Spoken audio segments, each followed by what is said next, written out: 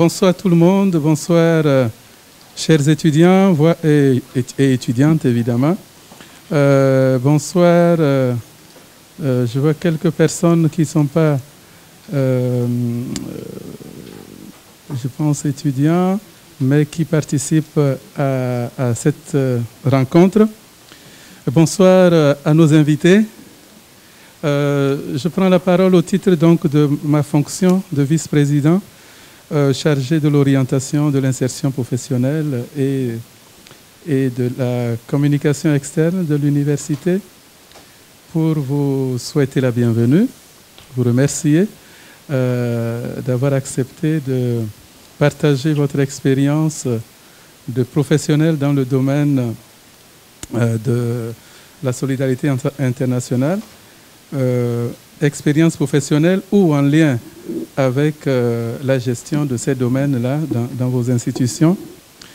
Euh, merci à vous, chers étudiants, d'avoir accepté donc de, participer à cette rencontre-là qui est organisée par la direction de l'orientation des stages et de l'insertion professionnelle de notre université. J'en profite pour remercier donc les collègues euh, de la DOSIP euh, qui organise cette rencontre.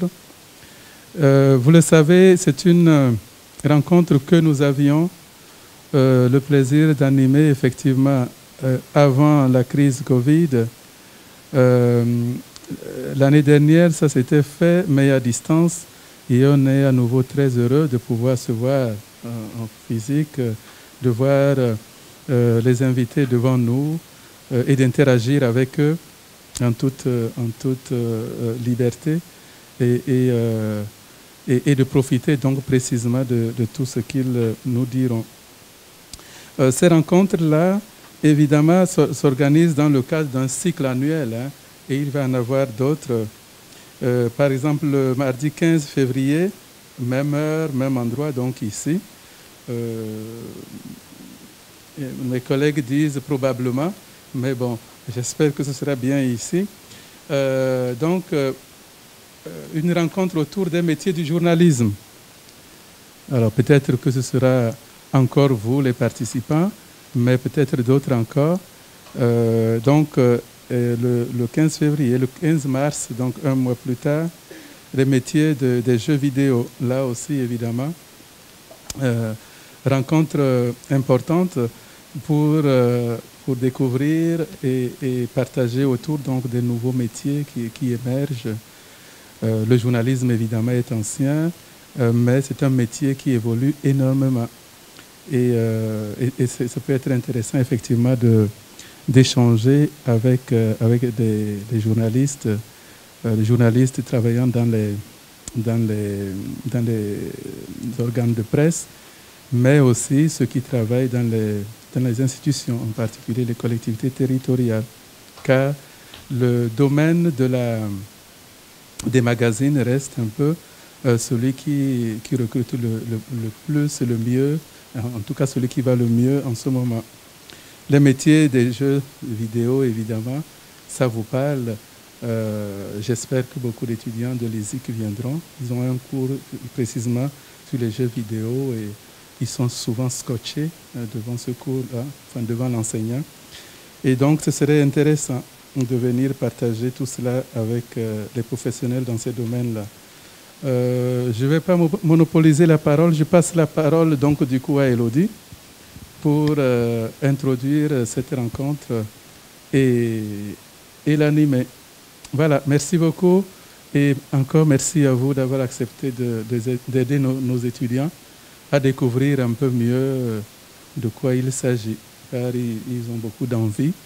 Mais bon, faudrait voir un peu concrètement ce que c'est et les différents métiers, évidemment, qui, qui s'offrent à eux. Merci beaucoup encore et bonne soirée.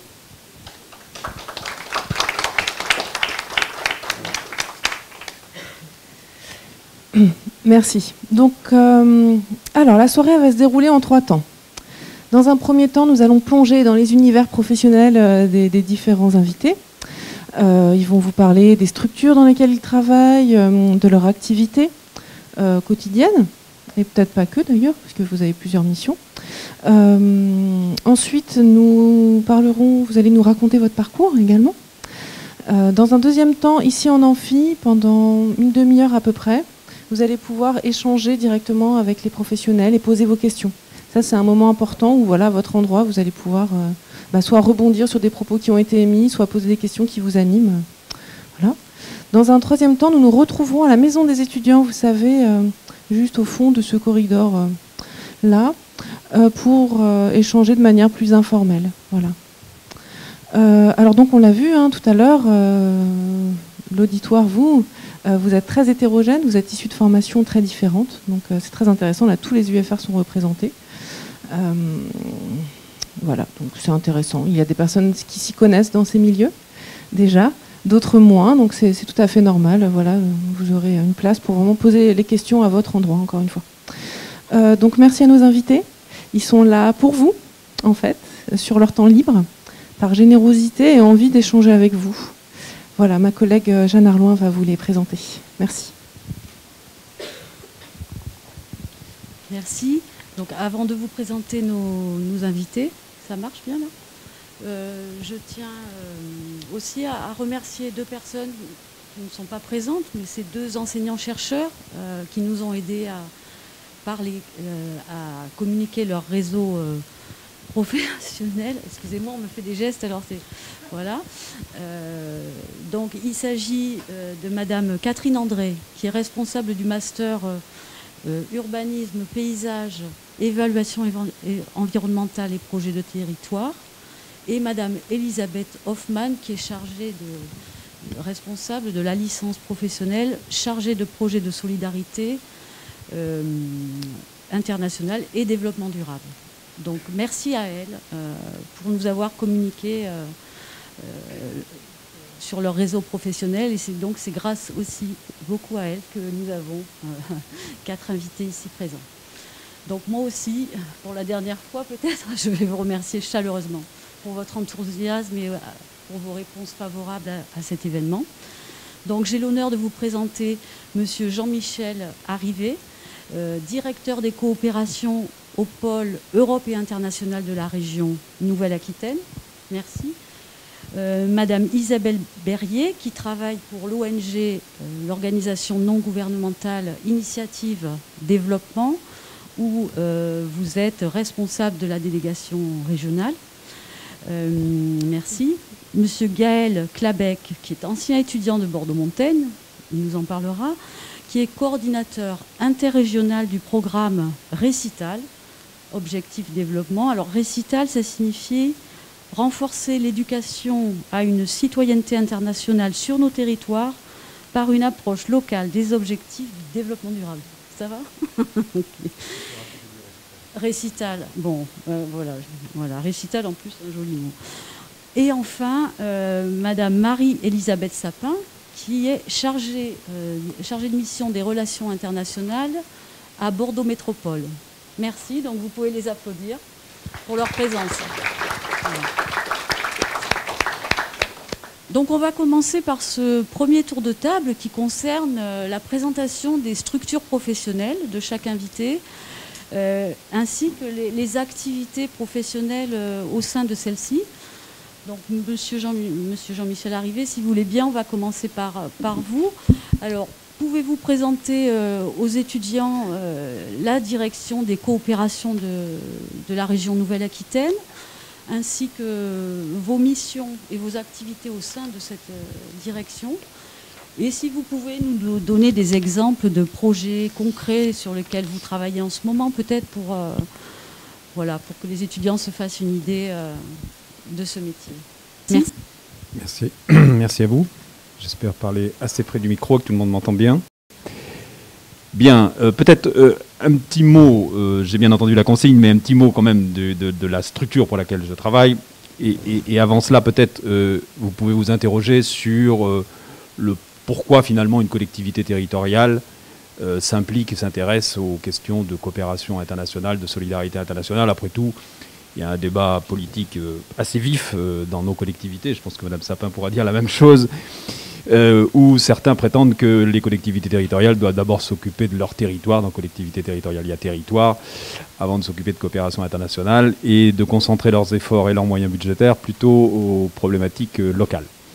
Alors à cela, il y a plusieurs réponses. La première réponse, c'est que euh, les compétences de la région font qu'elle est naturellement portée vers l'international. La région, pour résumer très rapidement ses fonctions, c'est avant tout du développement économique, c'est de la formation professionnelle, c'est des problématiques de transport, c'est le suivi des lycées, l'éducation. Et puis c'est aussi tout un ensemble d'actions autour de la culture, du sport, de la citoyenneté. Bref, tout un ensemble de sujets dont vous voyez bien qu'ils ont nécessairement, forcément, une dimension internationale. Quand on parle de développement économique, forcément, on s'intéresse à l'export, aux échanges extérieurs économiques.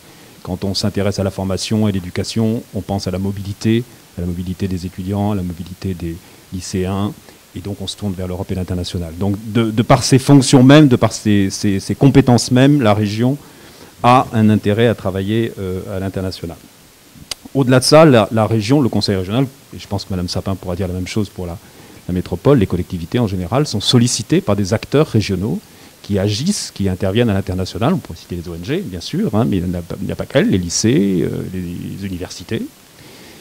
Euh, tout un ensemble d'acteurs se tournent vers le Conseil régional parce que le Conseil régional subventionne, finance les actions, les, démarches qui sont entreprises par un certain nombre d'acteurs à l'international.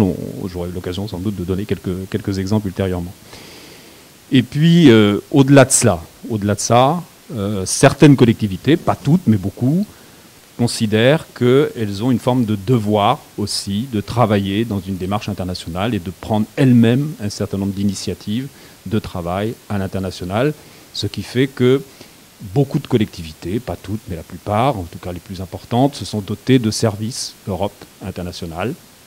Donc euh, c'est le cas pour la région Nouvelle-Aquitaine et j'ai l'honneur d'être le directeur du service qui s'occupe de coopération internationale. J'aurais dû éteindre mon portable. Voilà, pardon. Euh, et donc euh, cette direction a vocation à coordonner le suivi des activités qui sont celles de notre collectivité en matière européenne et internationale. Alors, faire le, panorama complet des activités, c'est un peu compliqué, j'ai commencé à le faire un peu. Le, travail des collectivités territoriales euh, est surtout connu au travers de ce qu'on appelle la coopération décentralisée. Je ne sais pas si pour certains d'entre vous ça évoque quelque chose. Coopération décentralisée, comme son nom l'indique, c'est la coopération et donc de l'échange avec un certain nombre de, de partenaires étrangers, décentralisée parce que ça n'est pas quelque chose qui est suivi par le niveau central, mais par les collectivités. Donc c'est une politique reconnue depuis longtemps en France. Je ne vais pas en faire l'historique, mais ça fait déjà quelques décennies que les, collectivités, les régions en particulier, sont reconnues comme pouvant avoir un, rôle international. Et donc la coopération décentralisée permet à une collectivité comme la nôtre de s'associer avec des collectivités partenaires dans différents pays du monde pour développer un certain nombre de projets. Et notamment, je vais me concentrer là-dessus, ce n'est pas exclusif, mais notamment vers des collectivités de pays euh, du Sud. Euh, la région Nouvelle-Aquitaine, par exemple, a un certain nombre de coopérations avec des régions ou des collectivités territoriales euh, du Maroc, du Sénégal, du Burkina Faso, de Madagascar, du Vietnam, d'Haïti. Comment ça se passe en, résumé rapide? On, signe avec ces partenaires, avec ces collectivités territoriales, des accords de coopération, on fixe des programmes pluriannuels, en général trois ans en moyenne, et ensuite on met en œuvre un certain nombre de projets. Alors pas seuls, hein, bien sûr, les collectivités peuvent être acteurs directs de ces, accords, mais très souvent elles font appel à des partenaires, à des opérateurs de la région, c'est-à-dire qu'elles impliquent des opérateurs. On pourrait citer l'exemple de, vous en parlerez sûrement de, de ID, par exemple, qui est impliqué dans un certain nombre de coopérations décentralisées de la région Nouvelle-Aquitaine initiative développement, tout un ensemble d'opérateurs que l'on va solliciter pour mettre en œuvre et appliquer les euh, actions que nous avons prévues, qui sont prévues dans l'accord de coopération entre, signé entre la région et son, partenaire étranger. Donc ça, c'est un premier volet d'action qui est le plus connu, mais qui n'est pas exclusif, qui n'est pas le seul, puisque euh, les collectivités territoriales, je l'ai déjà un petit peu abordé tout à l'heure, finance aussi des opérateurs qui, de leur propre initiative et en dehors du cadre de la coopération décentralisée, s'adressent à la région pourrait aider, pourrait être soutenu. Par exemple, je ne vais pas là aussi tout développer, mais on pourra revenir plus tard sur, sur le sujet dans la discussion. Par exemple, nous avons, en place, nous avons mis en place euh, un dispositif d'appel à projet de solidarité internationale. Et donc, on ouvre cet appel à projet chaque année et on finance donc euh, des opérateurs qui répondent à cet appel à projet, qui ont des projets qui peuvent se passer euh, n'importe où dans le monde pratiquement, si je puis dire, en tout cas plutôt du côté de l'hémisphère sud, bien entendu. Et la région est là, non pas comme opérateur, comme elle l'est dans le cadre de la coopération décentralisée, mais comme financeur, comme soutien financier des organismes, des opérateurs de la région qui s'engagent dans des projets. Euh, la région soutient aussi des opérateurs qui agissent au niveau local pour faire de l'information sur euh, les problématiques internationales. On pourrait parler de de, coopération, dont parlera euh, Gaël tout à l'heure euh, mieux que moi, qui sont des organismes à vocation d'informer, de, sensibiliser le public, le grand public, entre autres fonctions, sur les problématiques internationales et de solidarité internationale. Donc la région a une vocation, disons, à la fois d'opérateur direct dans le cadre de la coopération décentralisée, mais aussi et surtout, et c'est un peu moins exotique, je veux bien l'admettre, de financeurs. C'est-à-dire c'est, c'est d'abord et avant tout un, organisme, une structure qui intervient pour aider, pour soutenir, pour financer des projets qui sont portés par des opérateurs euh, de la région.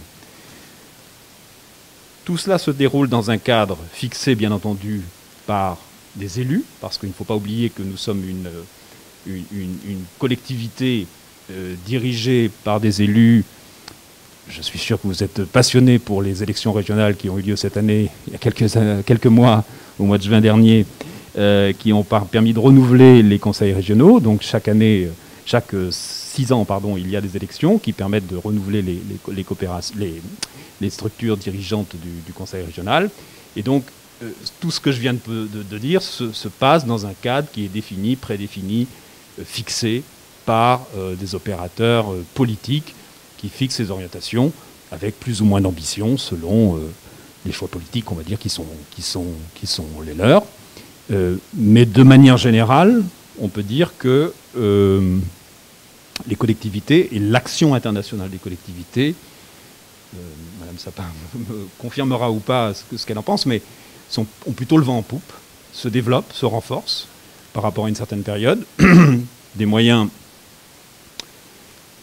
j'allais dire plus conséquents, ça reste quand même très modeste, hein, il, faut, il faut être tout à fait honnête, sont alloués à ces questions. Et, et, et c'est un élément sur lequel on aura l'occasion de revenir, les collectivités elles-mêmes, dans leur action internationale, que j'ai brièvement et sommairement présentée, sont de plus en plus soutenues par des grands opérateurs financiers internationaux. Je pense à l'Union européenne, je passe à, l'Agence française de développement, je pense au ministère des Affaires étrangères, qui euh, euh, répondent, enfin qui, financent et qui soutiennent euh, les collectivités plus qu'elles ne le faisaient par, le passé.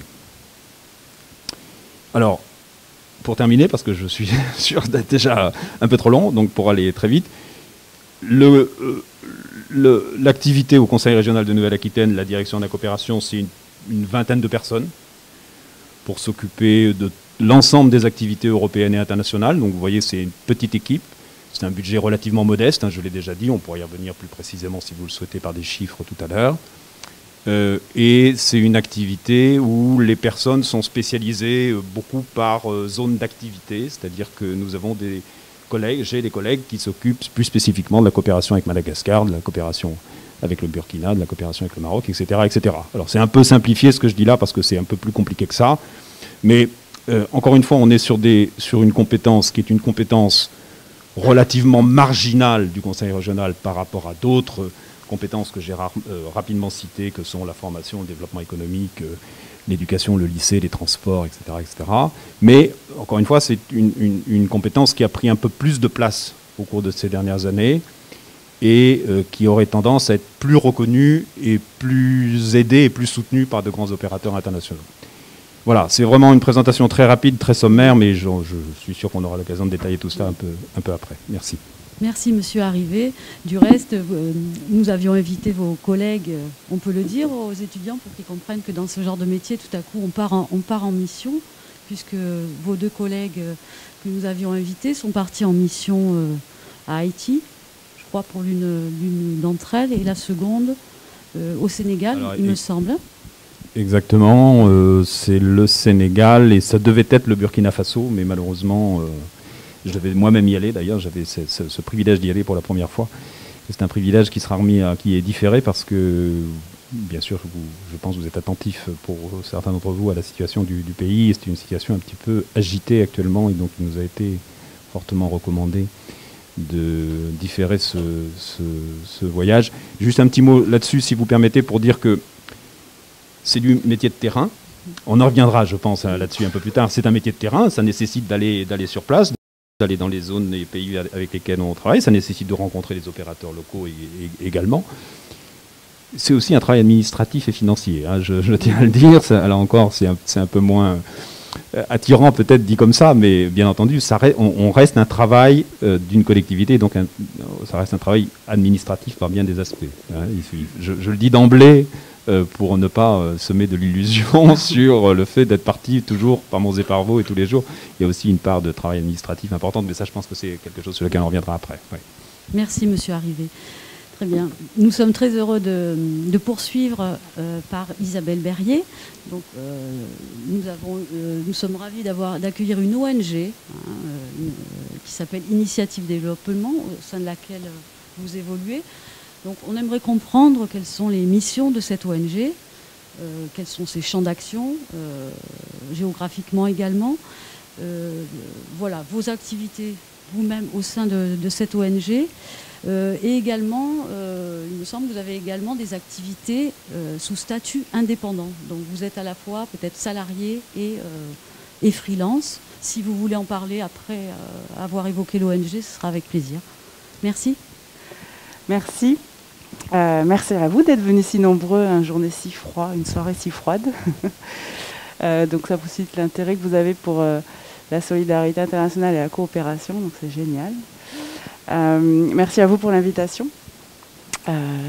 Je, suis contente d'être là avec vous. On travaille euh, tous ensemble en fait. Moi, je travaille avec Nouvelle-Aquitaine, je travaille avec So Coopération, je travaille aussi avec Bordeaux Métropole. Donc c'est, vous avez vraiment, moi, enfin, le panel qui est ici pour moi est aussi fait partie de mon quotidien. Et je trouve ça intéressant que vous puissiez le voir et nous entendre. Initiative Développement, donc c'est l'ONG pour laquelle je travaille. Euh, c'est l'une des plus grosses ONG euh, françaises, de développement française. Alors, ONG de développement, pas d'urgence. Euh, est-ce que tout le monde fait la différence entre les deux, entre ONG de développement et ONG d'urgence Non. Je suis sûre qu'il y en a qui savent et qui pourraient prendre la parole et l'expliquer. Mais ils n'oseront pas. donc les ONG d'urgence, c'est quand il y a une situation d'urgence et euh, on va intervenir sur un territoire pour essayer de résoudre euh, cette situation d'urgence. Ça peut être des urgences euh, climatiques, ça peut être des urgences sanitaires.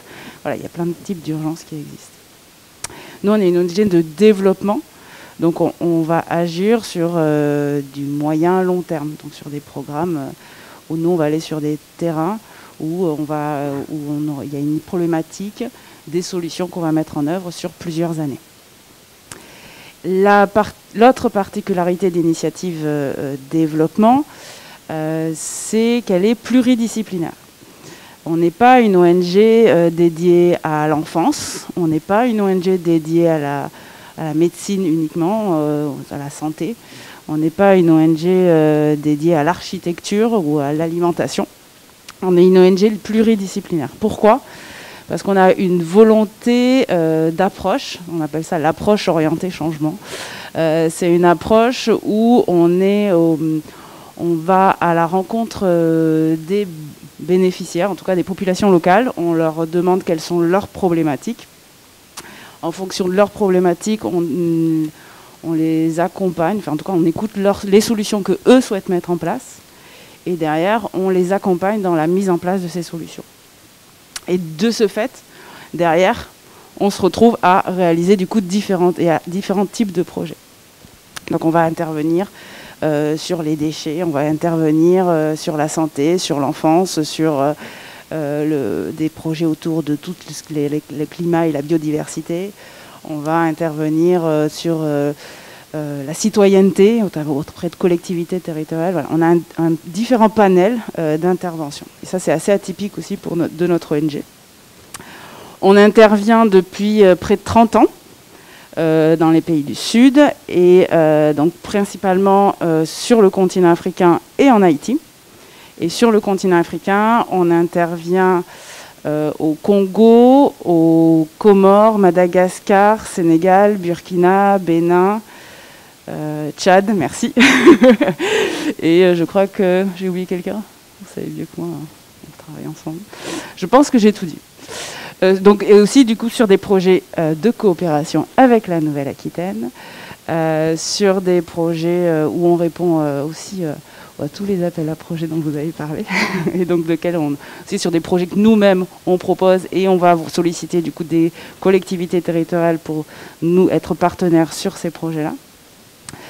Euh, et euh, qu'est-ce que je peux vous dire d'autre? Euh, On est une ONG, on a à peu près une centaine, un peu plus de 100 salariés. Ah oui, la particularité de cette ONG, c'est que nous sommes, nous sommes en Nouvelle-Aquitaine. La majorité des ONG sont soit à Paris, soit à Lyon, parce qu'à un moment donné, la métropole lyonnaise et la région avaient une stratégie d'attractivité des ONG. Et euh, nous, on est, à Poitiers, précisément, en Nouvelle-Aquitaine. Et on est également euh, sur la métropole bordelaise à travers euh, la délégation régionale d'initiative de développement qui est basée à Bordeaux, plus dans la métropole bordelaise, plus précisément à la Maison des associations de Mérignac, dont je suis la responsable. Et tout, on est une vingtaine en France, et tous les autres, donc à 90% des salariés, à Initiative Développement sont des salariés euh, euh, sur le terrain et issus du continent africain. Voilà. Donc ça aussi c'est une particularité. Enfin, euh, si, une autre chose que je voulais vous dire, sur le programme, il y a 4, 4 ans, Initiative Développement s'est posé la question comment faire notre part en France? Parce que du coup, ça fait près de 30 ans qu'on agit dans le Sud.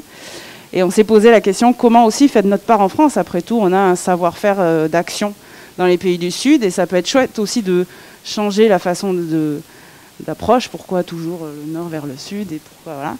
Aussi pourquoi comment pourquoi pas appliquer et euh, ce qu'on a la façon d'agir que l'on dans le sud, pourquoi pas le faire en France et faire notre part aussi en France parce qu'il y a plein de problématiques aussi à résoudre en France. Et c'est dans ce cadre-là qu'on a fusionné avec une petite ONG qui s'appelait Projet Solidaire et qu'on a repris ces programmes. Et notamment, il y avait un programme qu'elle avait initié en 2016 et qui n'avait pas pu se continuer, mais qui nous avait, on, a, trouvé l'idée intéressante. Et ce programme, ça s'appelle Défi. Développons ensemble une fabrique à innovation solidaire. Et pourquoi je vous en parle? Parce que ça vous concerne particulièrement. Euh, ce programme, il, euh, euh, identifie des porteurs de projets visant à lutter contre le dérèglement climatique et les inégalités en Nouvelle-Aquitaine et sur le continent africain et en Haïti. Et euh, une fois qu'ils sont identifiés, on identifie leurs besoins en compétences. Et une fois qu'on a leurs besoins en compétences, on va aller euh, chercher des responsables de parcours, euh, de master, pour leur demander est-ce qu'ils seraient partants pour que des étudiants, au lieu de travailler sur des exercices, puissent appliquer les compétences acquises dans leur master euh, pour soutenir un porteur de projet. Et du coup, d'être dans l'exercice pratique. Et en même temps, du coup, de pouvoir soutenir un vrai porteur de projet qui propose des solutions pour son territoire. Voilà. Et c'est dans ce cadre-là que depuis trois ans, soutenu par la métropole de Bordeaux, on a aussi intervenu à travers ce programme dans Récital et aussi soutenu par la Nouvelle-Aquitaine on met en place ce programme et c'est comme ça que j'ai et je travaille aussi avec Elisabeth Hoffman et que certains étudiants ici de cette amphi me connaissent déjà. Euh, voilà pour initiative des... Ah oui, et si vous voulez avoir plus d'informations sur ce programme défi, mercredi prochain, on organise un événement qui s'appelle une rencontre, le rendez-vous des innovations solidaires pour la planète. Donc mercredi prochain à la Maison des associations de Mérignac et où on va rassembler tous ces jeunes qui se sont impliqués, on va vous montrer toutes ces innovations euh, solidaires pour la planète qui sont soutenues. Et si vous voulez nous rencontrer et rencontrer d'actes acteurs de l'action euh, pour le climat euh, et la biodiversité, vous êtes les bienvenus, c'est toute la journée. On ferme la parenthèse initiative développement, on ouvre une autre parenthèse J'ai deux autres casquettes. Je suis consultante. Voilà, on est dans des nouvelles générations, on ne se contente pas d'avoir un métier, on en a souvent plusieurs. Donc je travaille trois jours par semaine pour Initiative Développement. Et les deux autres jours, je travaille pour deux autres structures. L'une, c'est une entreprise sociale bordelaise qui s'appelle Moon et qui fait de l'électrification sur le continent africain. Euh, plus particulièrement euh, en Casamance au Sénégal, au Togo euh, actuellement sur le littoral et avec le HCR, une ONG, au Mali. et donc moi, je les accompagne, enfin mon rôle est de les soutenir dans leur impact social comment valoriser ce qui, en quoi leur, euh, leur, impact social et euh, comment l'améliorer, comment l'évaluer, etc., Et euh, ma dernière casquette, c'est où je travaille pour un programme de l'Élysée qui soutient les diasporas africaines dans leurs projets. ce programme, il s'appelle Meet Africa. Il est porté par Expertise France et financé par l'Union européenne et l'AFD. Et moi, là-dedans, je suis coordinatrice euh, Africa Mali, dans lequel je, j'accompagne également euh, 10 entrepreneurs de la diaspora qui ont un projet de retour au Mali. Et pour cela, si vous voulez en savoir plus, il y a un événement le 8, donc aussi mercredi soir. Je n'ai pas encore le lieu, mais à Bordeaux. Et du coup, il y aura euh, les, les représentants de tous ces dispositifs. Voilà, je vous remercie.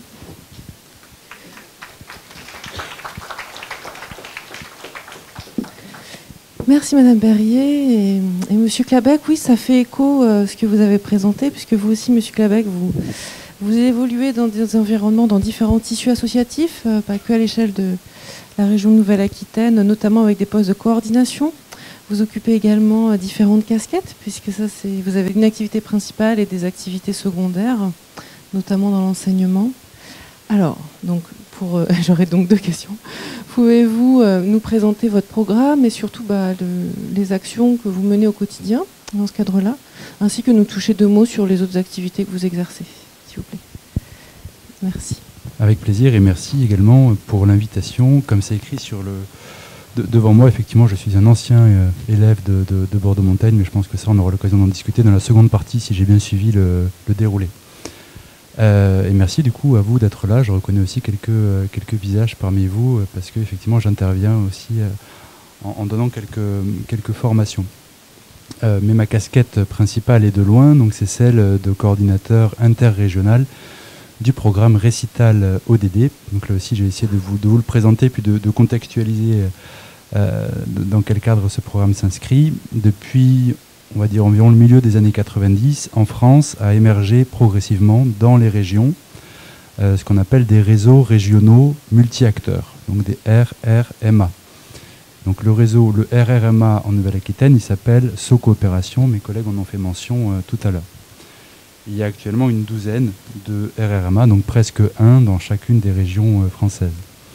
Et donc ces réseaux euh, multi-acteurs, euh, ils fédèrent euh, en leur sein les organisations du territoire, pas toutes, hein, mais celles qui souhaitent du coup s'y inscrire, qui sont engagées sur des projets de coopération, de solidarité internationale, sur des projets d'EXI, de, d'éducation à la citoyenneté, à la solidarité internationale au sein du territoire. Et donc multi-acteurs, puisque ces réseaux fédèrent des structures aux différentes appartenances statutaires et ou sectorielles. Donc on va retrouver euh, une majorité d'associations, puisque c'est la dominante numéraire, on va dire, des, organismes engagés en coopération. Mais on retrouve aussi des organismes de recherche, de, formation, des entreprises, des, collectivités, euh, euh, etc. Donc l'objectif de ces réseaux, c'est aussi de, permettre justement des espaces qui fassent dialoguer ces différentes catégories d'acteurs entre elles, euh, c'est d'être là dans une logique aussi de, support à travers de l'information sur l'actualité en matière de coopération, sur le territoire, sur ce qui est fait à l'échelle internationale, euh, sur les grands enjeux aussi qui, traversent notre secteur, et, euh, il, y en a, il y en a beaucoup, sur les questions liées à la mondialisation, aux inégalités, aux objectifs de développement durable, les réseaux régionaux, ils sont aussi là pour faire un travail de mise en réseau, donc de ces acteurs. Donc cette mise en réseau, elle se fait à travers un certain nombre d'événements. Elle se fait également à travers la, mise en relation via une base de données que les réseaux du coup étayent de manière itérative afin d'avoir une connaissance des dynamiques et des acteurs engagés sur les territoires. Ça se fait à travers un certain nombre d'activités. Euh, et les réseaux, ils ont aussi pour, euh, pour objet de, former, donc de renforcer les compétences des porteurs de projets, euh, et du coup aussi de participer à l'amélioration de la qualité des projets qui sont portés, que ce soit à l'international ou en France, dans des dynamiques d'éducation à la citoyenneté ou, à la solidarité internationale.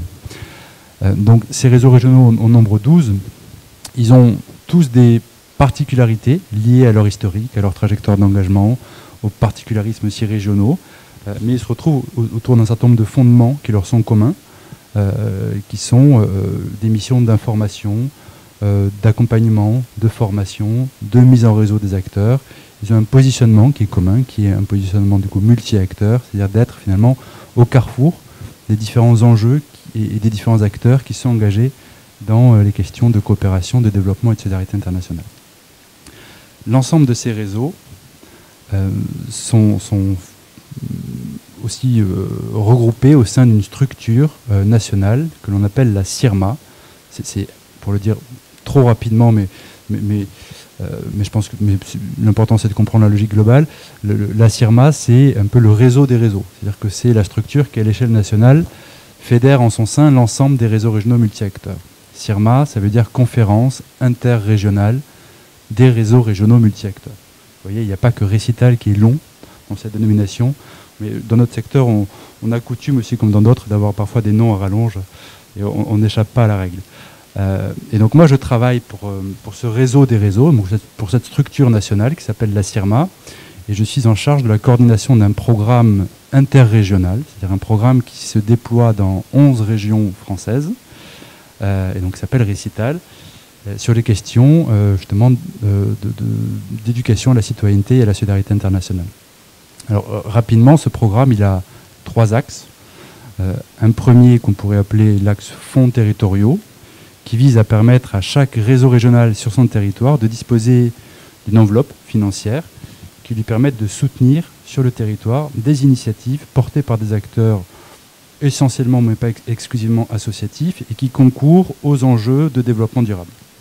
Ça c'est le premier axe, c'est-à-dire finalement avoir des fonds qui, euh, euh, au sein des territoires, permettent de soutenir des initiatives locales qui, euh, participent, qui contribuent des enjeux de, développement durable.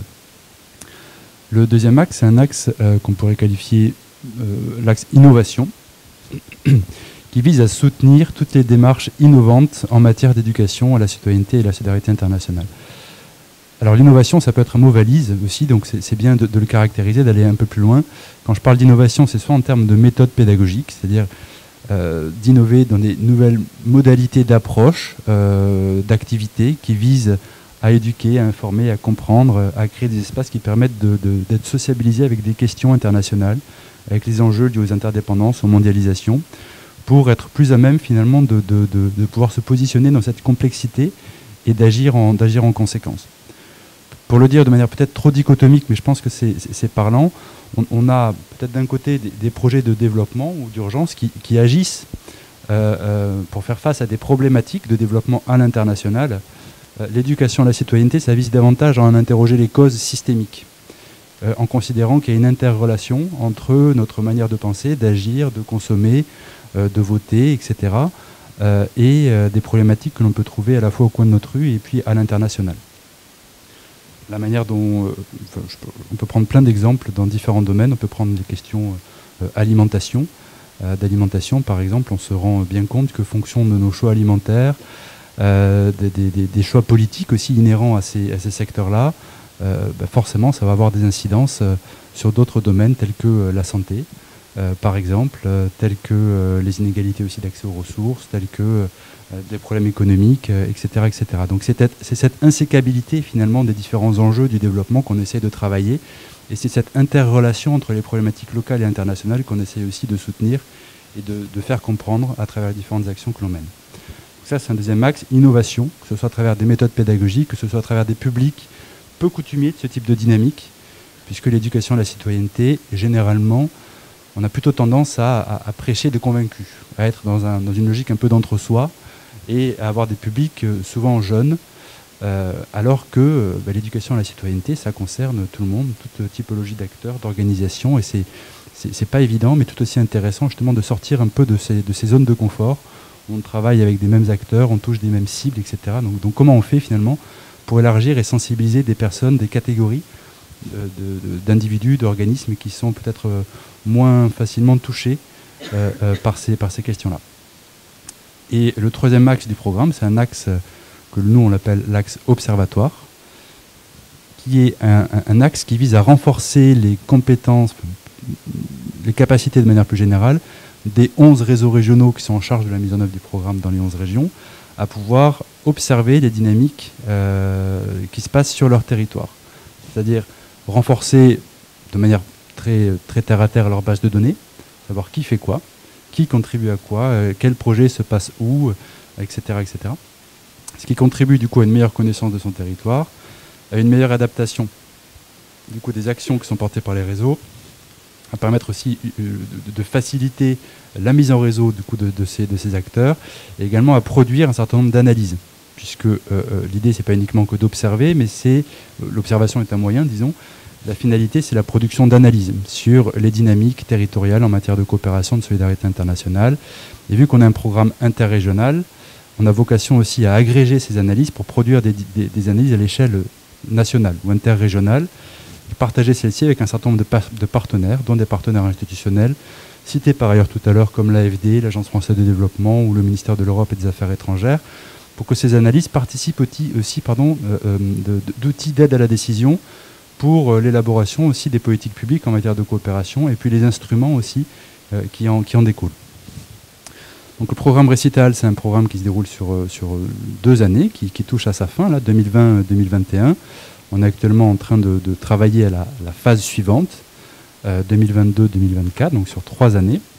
C'est un programme assez conséquent, d'un budget de plusieurs millions d'euros, qui mobilise environ 40 salariés dans l'ensemble des territoires. Euh, issus des 12 réseaux régionaux. Et mon travail, c'est, euh, en tant que coordinateur, c'est peut-être de, naviguer entre différents métiers. Je ne sais pas si, mes collègues me rejoindront sur ces aspects-là.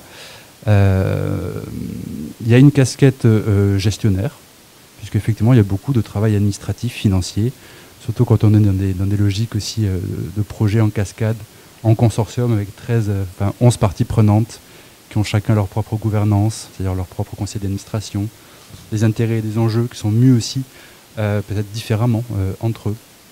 Un travail aussi forcément de, suivi administratif et financier. Euh, un travail, malgré moi, puisque ce n'est pas forcément ma tasse de thé, un peu de policier, dans, une, un certain sens, puisqu'on est aussi garant vis-à-vis de nos bailleurs, vis-à-vis de nos partenaires, du respect d'un cadre commun. Et donc on doit veiller en tant que coordinateur à ce que ce cadre soit aussi respecté par l'ensemble des parties prenantes parfois une casquette un peu de pompier, puisque euh, bah, il peut y avoir des tensions entre ces différents acteurs-là. Et euh, mon travail, c'est aussi d'éviter euh, de devoir sortir la lance en incendie et plutôt d'essayer d'apaiser le feu dès le départ, donc de, gérer aussi les tensions entre les différents acteurs engagés, dans le, engagés dans le programme. casquette un peu de stratège, puisqu'on est au carrefour d'enjeux politiques qui sont assez majeurs. et on, est en lien avec euh, ben, des partenaires institutionnels, euh, nationaux, euh, européens. les réseaux régionaux sont également en prise avec des questions politiques parfois plus localisées, donc il faut aussi gérer ces différents aspects-là. Et puis une casquette aussi de manager, puisqu'il y a une équipe. Donc il faut faire en sorte que tout se passe bien, que tout le monde s'entende bien, se coordonne, qu'il y ait une organisation interne aussi qui soit fluide, etc. Je ne suis pas forcément exhaustif, mais c'est pour vous dire que c'est des métiers aussi qui amènent, je pense, à avoir une pluralité de fonctions euh, disons, un spectre qui est très large et qui est peut-être beaucoup plus large que celui que j'imaginais quand j'étais à votre place, euh, peut-être. Euh, mais ça aussi, je pense qu'on pourrait y revenir, on pourrait y revenir plus tard. Voilà en quelques mots pour le, programme récital. Effectivement, j'ai d'autres casquettes, mais elles sont très secondaires par rapport, par rapport à celle-ci. Très secondaires, pas en termes d'importance, mais en termes de temps, puisque le programme me, demande beaucoup de temps. et c'est pas, pas peu dire. Euh, je suis également, à titre bénévole, président d'une association qui s'appelle Couleur du Monde, euh, qui est une association euh, employeuse qui est engagée sur des, sur des, dynamiques aussi d'échange de, de, jeunes dans des logiques de réciprocité, à travers des dispositifs que vous connaissez peut-être, de type service civique et, et d'autres dispositifs, notamment.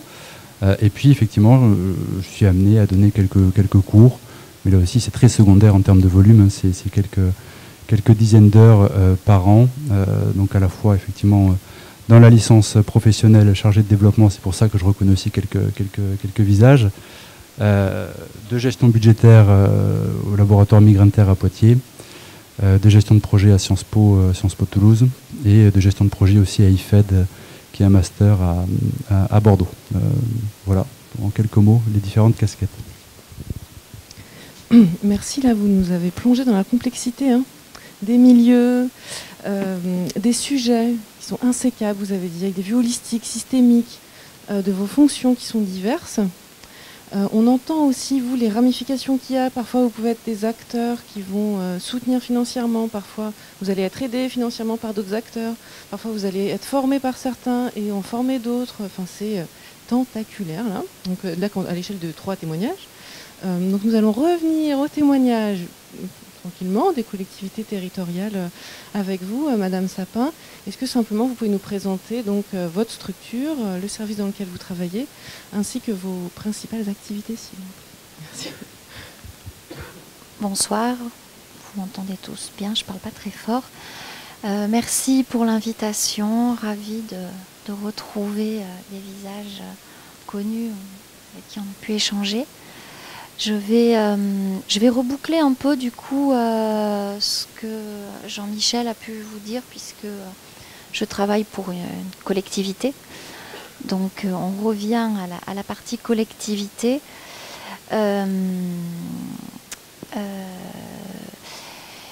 les alors ça va être, ça va être du coup assez, simple. Pour bien avoir en tête, les collectivités, c'est un exécutif, ce sont des élus, et puis des services qui exécutent les décisions. Donc on dépend beaucoup des stratégies effectivement de nos élus, de l'importance d'aller voter quand il y a des élections, parce que euh, on désigne nos représentants qui vont eux-mêmes euh, définir des, orientations stratégiques.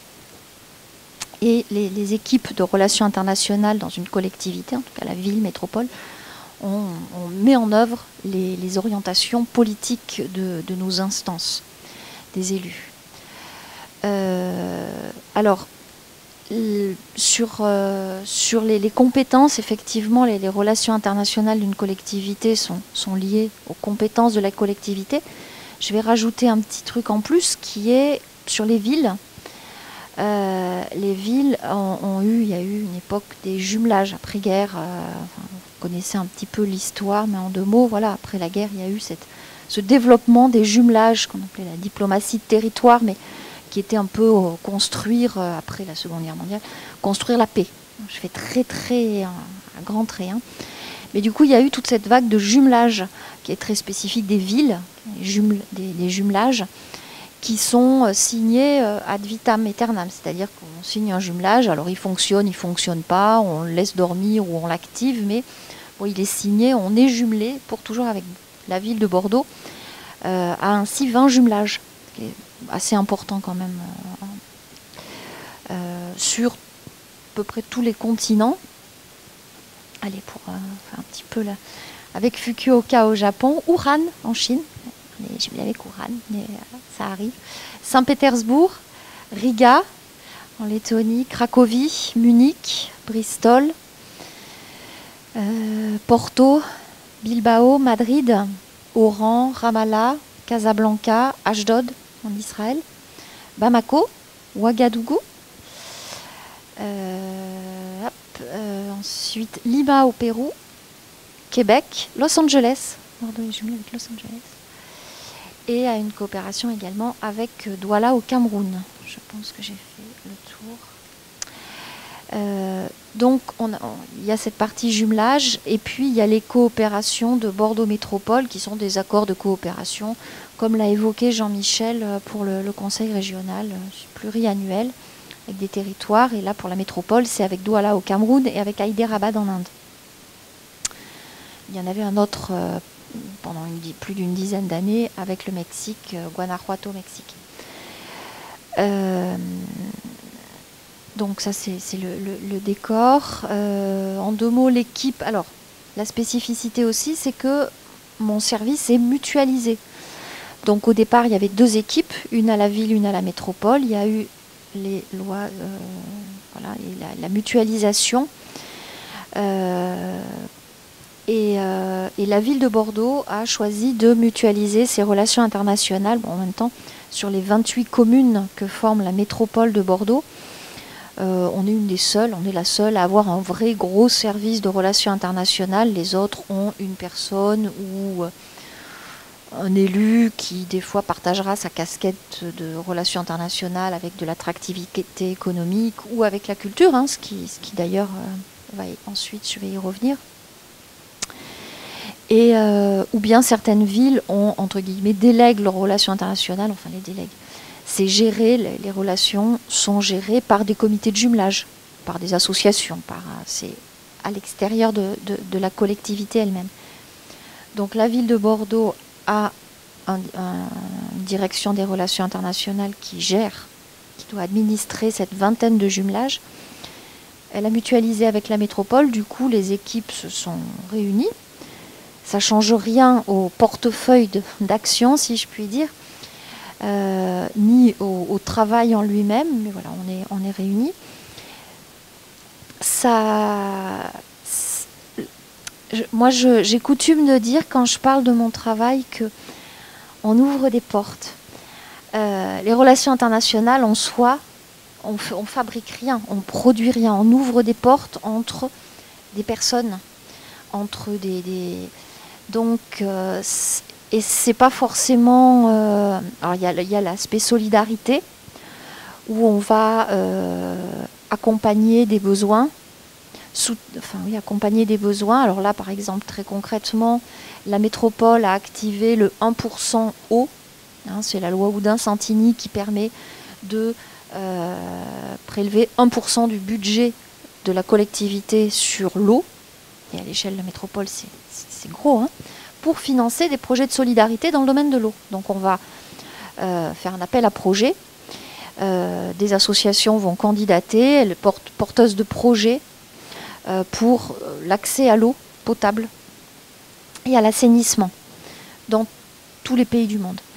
on va incessamment sous peu activer le 1% énergie et le 1% déchets, donc ça sera le même principe, où on va prélever 1% du budget euh, qui concerne la collecte des déchets, là aussi c'est très important, ou de l'énergie, pour euh, financer des projets de solidarité internationale, enfin, avec des appels à projets, des opérateurs, des associations qui vont, euh, qui vont monter, développer des projets dans toutes les parties du monde. Donc il y a ce volet solidarité qui, a été, qui a été évoqué. Du coup, j'aimerais parler aussi compléter parce que ça a déjà été évoqué. Le, volet coopération, qui là est un échange, un échange, euh, un échange d'expertise. Et là, quand je dis qu'on fait le lien, qu'on ouvre des portes, euh, c'est typiquement euh, soit des directions de la métropole qui auront entendu parler, qui connaîtront telle ou telle initiative et qui voudront approfondir, échanger ou bien on sera sollicité. là aussi, un, cas un cas concret. Euh, on a été contacté via le, réseau des ambassades, hein, qui est un, gros réseau. Hein. Les ambassades de France dans le monde sont, quand même des petites antennes euh, qui, ouvrent des portes aussi. Euh, on a été contacté par l'ambassade de France à Bogota, parce que la métropole de Medellín euh, veut mettre en place un plan vélo. Et puis, euh, donc, ben, du coup, l'ambassade a regardé un petit peu, ben, évidemment, une, ville en France. Bon, voilà, ils nous ont mis en contact, ils, nous ont contactés. Et ben moi, j'ai fait le lien, j'ai ouvert la porte entre la métropole de Medellín qui voulait parler à des, à des, à des experts.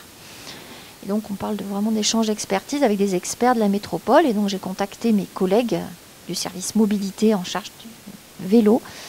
Et puis, euh, et puis on monte des, je monte donc du coup des, sessions, alors pour le moment de, visio, où ben, du coup, les, de part et d'autre, à Medellin et, et puis à la, à la, métropole, ils échangent sur leurs pratiques, sur ce qui est mis en place, sur, sur tous les domaines. Alors ça va sur les budgets, sur les tout. donc là, c'est le cas de Medellin et le vélo mais euh, je pourrais euh, démultiplier cette, euh, cette fonction d'échange de, d'expertise qui est intéressante parce que du coup, ben, je suis en contact hein, avec tout un tas de services de la métropole. ça peut être le patrimoine, ça peut être la culture, ça peut être... Bon, alors après, il y, y, a un service de l'attractivité économique qui va gérer directement les questions économiques, mais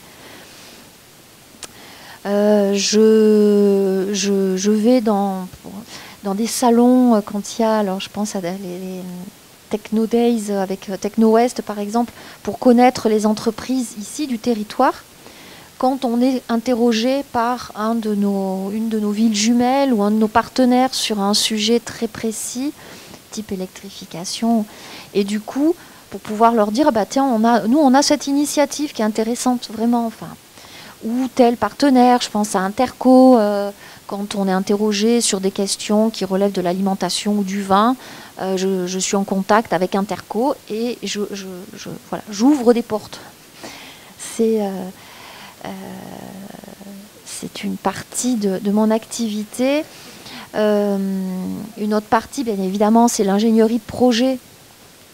Donc, dans le cadre des, des jumelages, on a des plans d'action, dans le cadre des accords de coopération, voilà, on a des actions qui sont, enfin, des, domaines d'action qui sont listés et on va identifier des projets ou bien les partenaires vont nous venir avec des projets ou bien nous on, va dans l'autre sens identifier des partenaires qui, qui mènent des, qui mènent des, des, actions euh, intéressantes euh. et puis euh, identifier aussi un partenaire dans notre ville jumelle ou dans notre zone de copé et puis les mettre en lien pour qu'ils pour qu'ils échangent, qu'ils travaillent ensemble, et puis après, j'allais dire en back office, en finance, on accompagne ces échanges. Donc il y a toute la partie ingénierie de projet qui est déjà plus connue, je pense.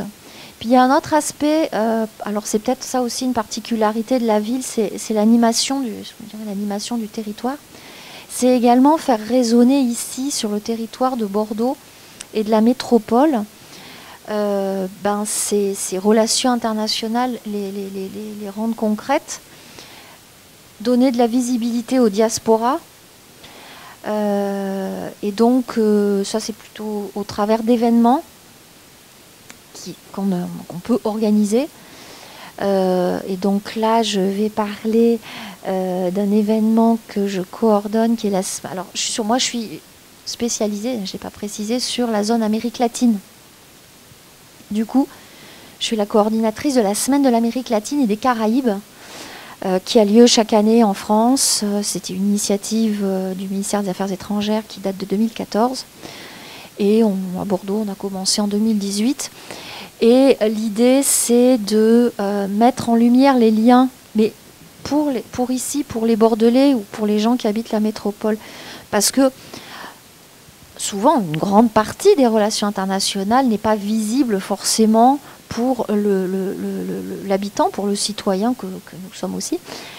Et euh, ben, c'est quand même intéressant d'informer, de, transmettre, de partager, de, visibiliser, de valoriser les, diasporas sur les actions qu'elles mènent.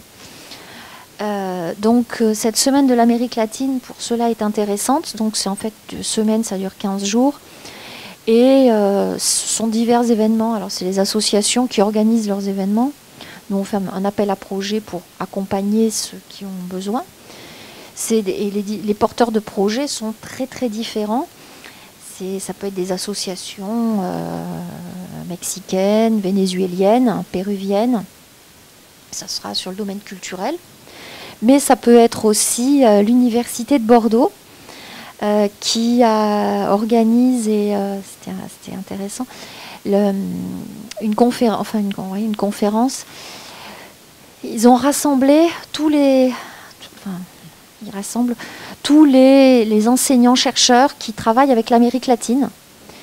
Et au cours d'une petite soirée conférence où ils, ils, font des pitchs, enfin, où ils expliquent euh, pourquoi, enfin, ça peut être en droit public, en, en, biologie moléculaire. Alors c'est vraiment tous les, tous les, tous les volets de, l'université de Bordeaux. Et, le prof va parler de, du programme sur lequel il travaille, pourquoi, comment il est venu à travailler euh, là-dessus. Et euh, grâce, grâce à la semaine de l'Amérique latine et des Caraïbes, du coup, l'université de Bordeaux s'est rendu compte qu'ils avaient, ils couvraient un spectre vachement grand, de, très important. Et ils sont en train de monter une, un, réseau transversal, du coup, d'enseignants qui travaillent avec l'Amérique latine. Donc, un réseau Amérique latine. Alors, il y aura d'autres réseaux, mais ça va être le premier. Et c'est euh, grâce à la semaine de l'Amérique latine et des Caraïbes. Euh, donc, animation de territoire, parce que l'international peut commencer déjà ici sur le territoire euh, avec, euh, en travaillant avec les diasporas et avec les communautés. Et ça peut être dans tous les domaines. Culturel, c'est le premier qui vient à l'esprit. Mais euh, universitaire, tous les domaines peuvent être couverts. Voilà à grands traits et mon activité. Merci Madame Sapin. Donc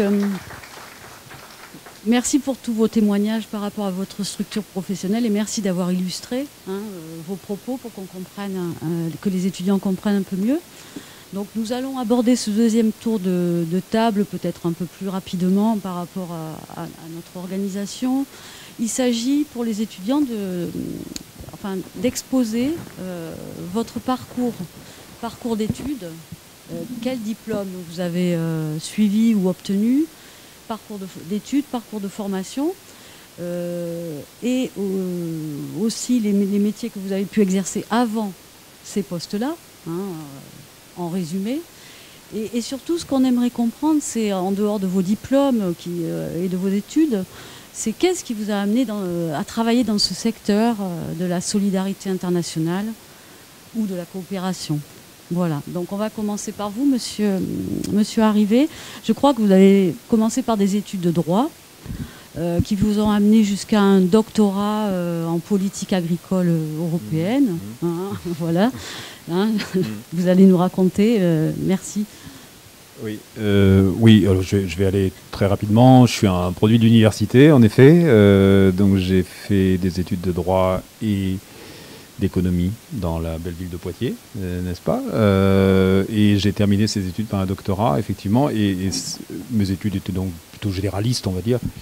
Et c'est à partir du doctorat que je me suis spécialisé sur les problématiques, alors plutôt européennes, puisque effectivement, comme vous l'avez dit, j'ai fait une thèse sur la, les questions de politique agricole commune, la politique agricole commune, mais sur ces aspects extérieurs. Donc il y avait déjà la vocation à aller plutôt vers l'international, donc c'est un sujet qui me, qui m'attirait beaucoup dès le départ. Et donc le début de ma carrière a été plutôt dans le droit fil de ces études, plutôt tourné sur les problématiques agricoles, de travailler pour des organismes consulaires, champs d'agriculture notamment, mais déjà là, là, aussi sur les problématiques agricoles, et aussi dans la logique de, montage de projets en fin de, en fin de, séjour, si je puis dire, dans les champs d'agriculture. J'ai été amené à travailler sur le montage de projets euh, européens et internationaux. Donc progressivement, voilà, ma palette s'est un petit peu élargie. Et donc quand j'ai rejoint la région, c'était avec ce bagage-là d'avoir travaillé sur les problématiques européennes, le montage de projets. Et donc c'est ce qui m'a permis d'entrer à la région, où je suis depuis 20 ans déjà. Et donc là aussi, euh, progressivement, ma palette s'est élargie, puisque au départ pour la région, je travaillais surtout sur les problématiques européennes, avant de, me voir aussi confier des questions plus larges, plus internationales.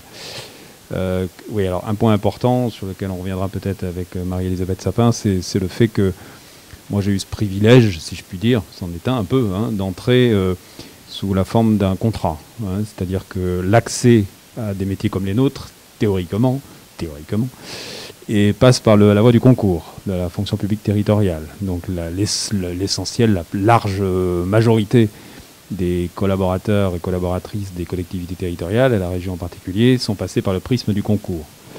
Et moi, je suis contractuel. Il y a quelques-uns comme moi qui l'ont fait parce que lorsque je suis, c'est un peu moins vrai aujourd'hui. Ça reste encore vrai, hein, mais c'est un peu moins vrai aujourd'hui.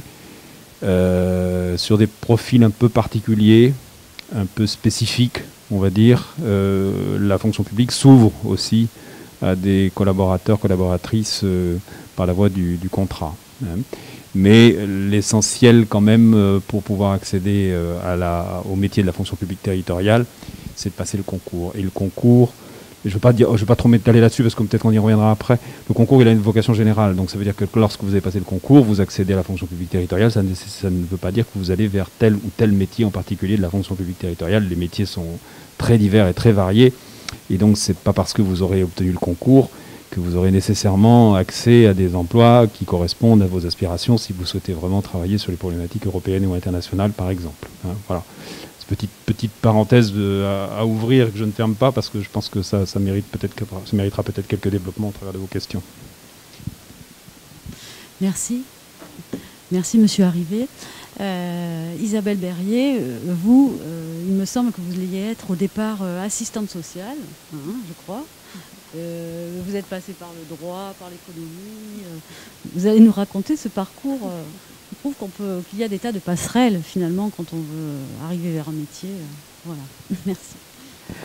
Merci.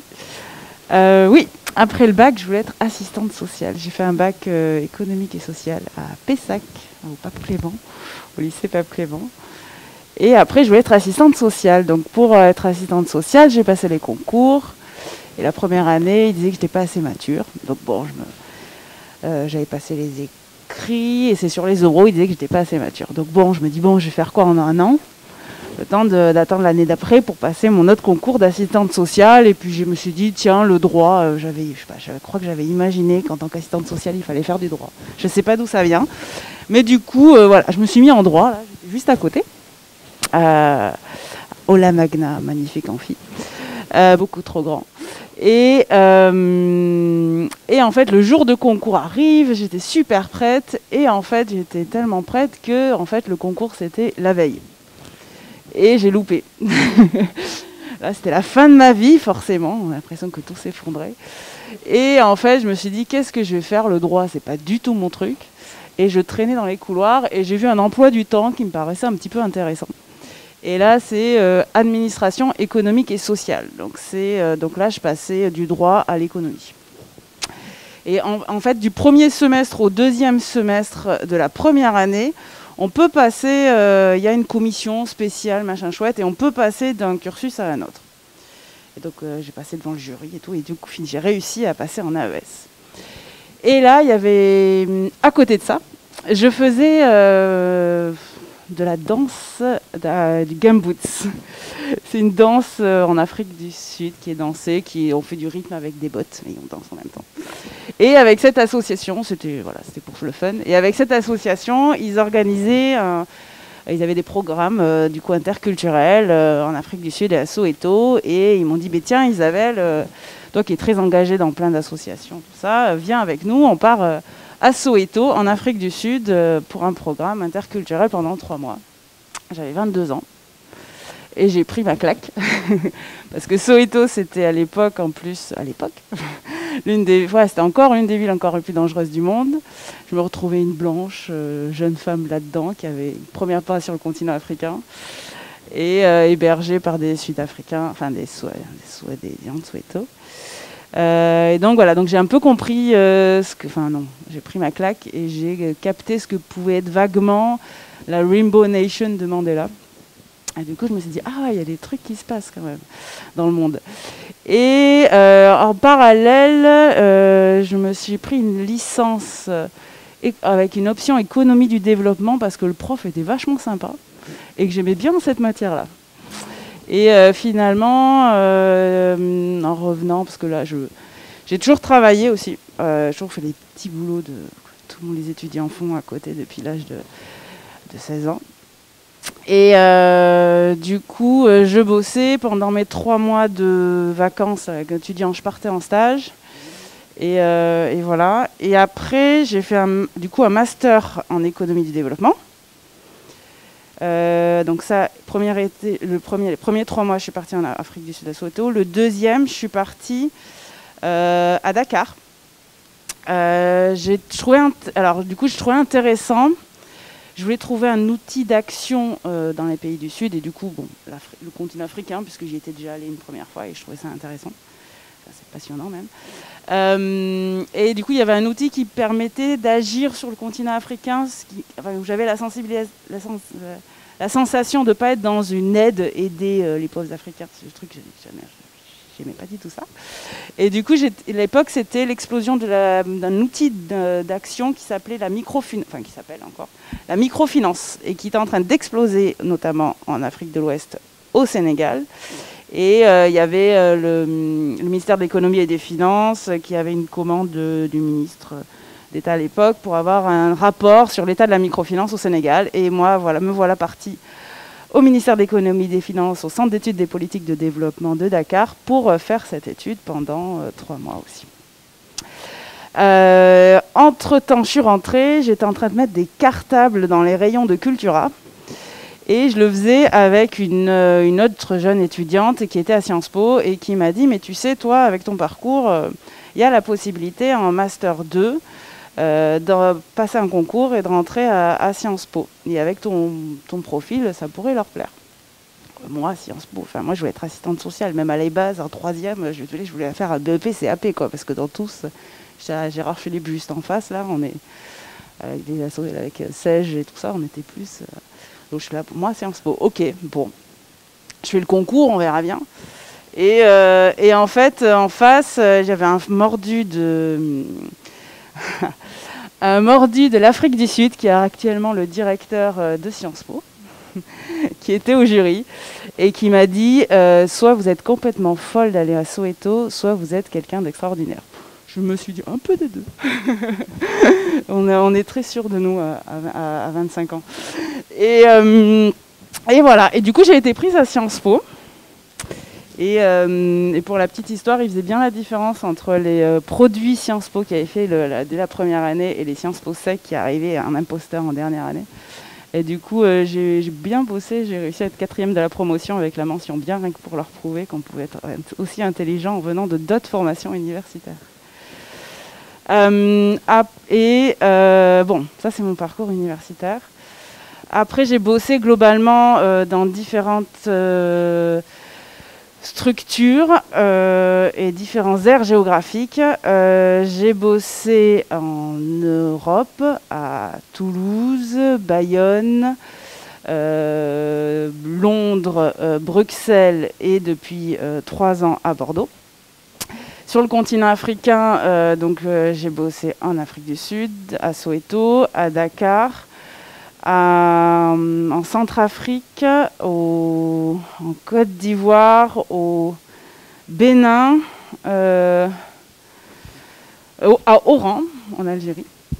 Euh, voilà, et j'ai bossé du coup pour plein de types de structures. Euh, j'ai travaillé pour donc dans la communication et également dans globalement l'accompagnement et le financement à l'entreprise. Voilà, donc tout ce qui est incubateur, etc., euh, etc. Et j'ai travaillé pour des structures comme des collectivités territoriales, euh, une ville d'Anglais de 40 000 habitants et le département des Pyrénées-Atlantiques. j'ai travaillé donc euh, du coup pour des ministères, j'ai travaillé pour des petites associations locales sur le continent comme des ONG plus grande taille comme Initiative Développement. Euh, j'ai travaillé pour des institutions de microfinance comme euh, Banque centrale d'Afrique de l'Ouest. Euh, et j'ai travaillé pour des micro-entreprises comme des multinationales. Et enfin, j'ai travaillé avec quelles casquettes? Avec des casquettes de bénévoles, avec une casquette de salarié, avec une casquette de fondatrice. J'ai aussi fondé des, une ONG. Bon, ça c'est autre chose. Et euh, j'ai également. Et consultante en ce moment. Et, euh, et, voilà. On est bon. Voilà. Monsieur Glabec, également, est-ce que vous pouvez nous dresser euh, les grandes lignes qui ont fait que vous en êtes arrivé là aujourd'hui S'il vous plaît? Depuis le bac, c'est pas mal aussi, ça. Parce que ça pourra résonner pour nos étudiants? Depuis le bac. ok. Déjà, le bac, j'ai eu du mal à l'avoir. Parce qu'à l'époque, j'étais j'étais pas, vraiment scolaire, on va dire. J'étais plus intéressé pour faire la fête, voyager, etc. et pas forcément pour être assis, en cours. Euh, et puis je me cherchais, je savais pas trop ce que je voulais faire. Euh, je suis même parti du, lycée et puis j'ai fait un BEP vente, ce qui ne me ressemble pas du tout, mais finalement, il fallait bien trouver quelque chose pour, que, pour que je puisse continuer. J'ai fait mon BEP vente, et puis ensuite, je suis reparti dans le, général, puisque c'était toujours pas mon truc. Et puis ensuite, j'ai eu mon bac quand même.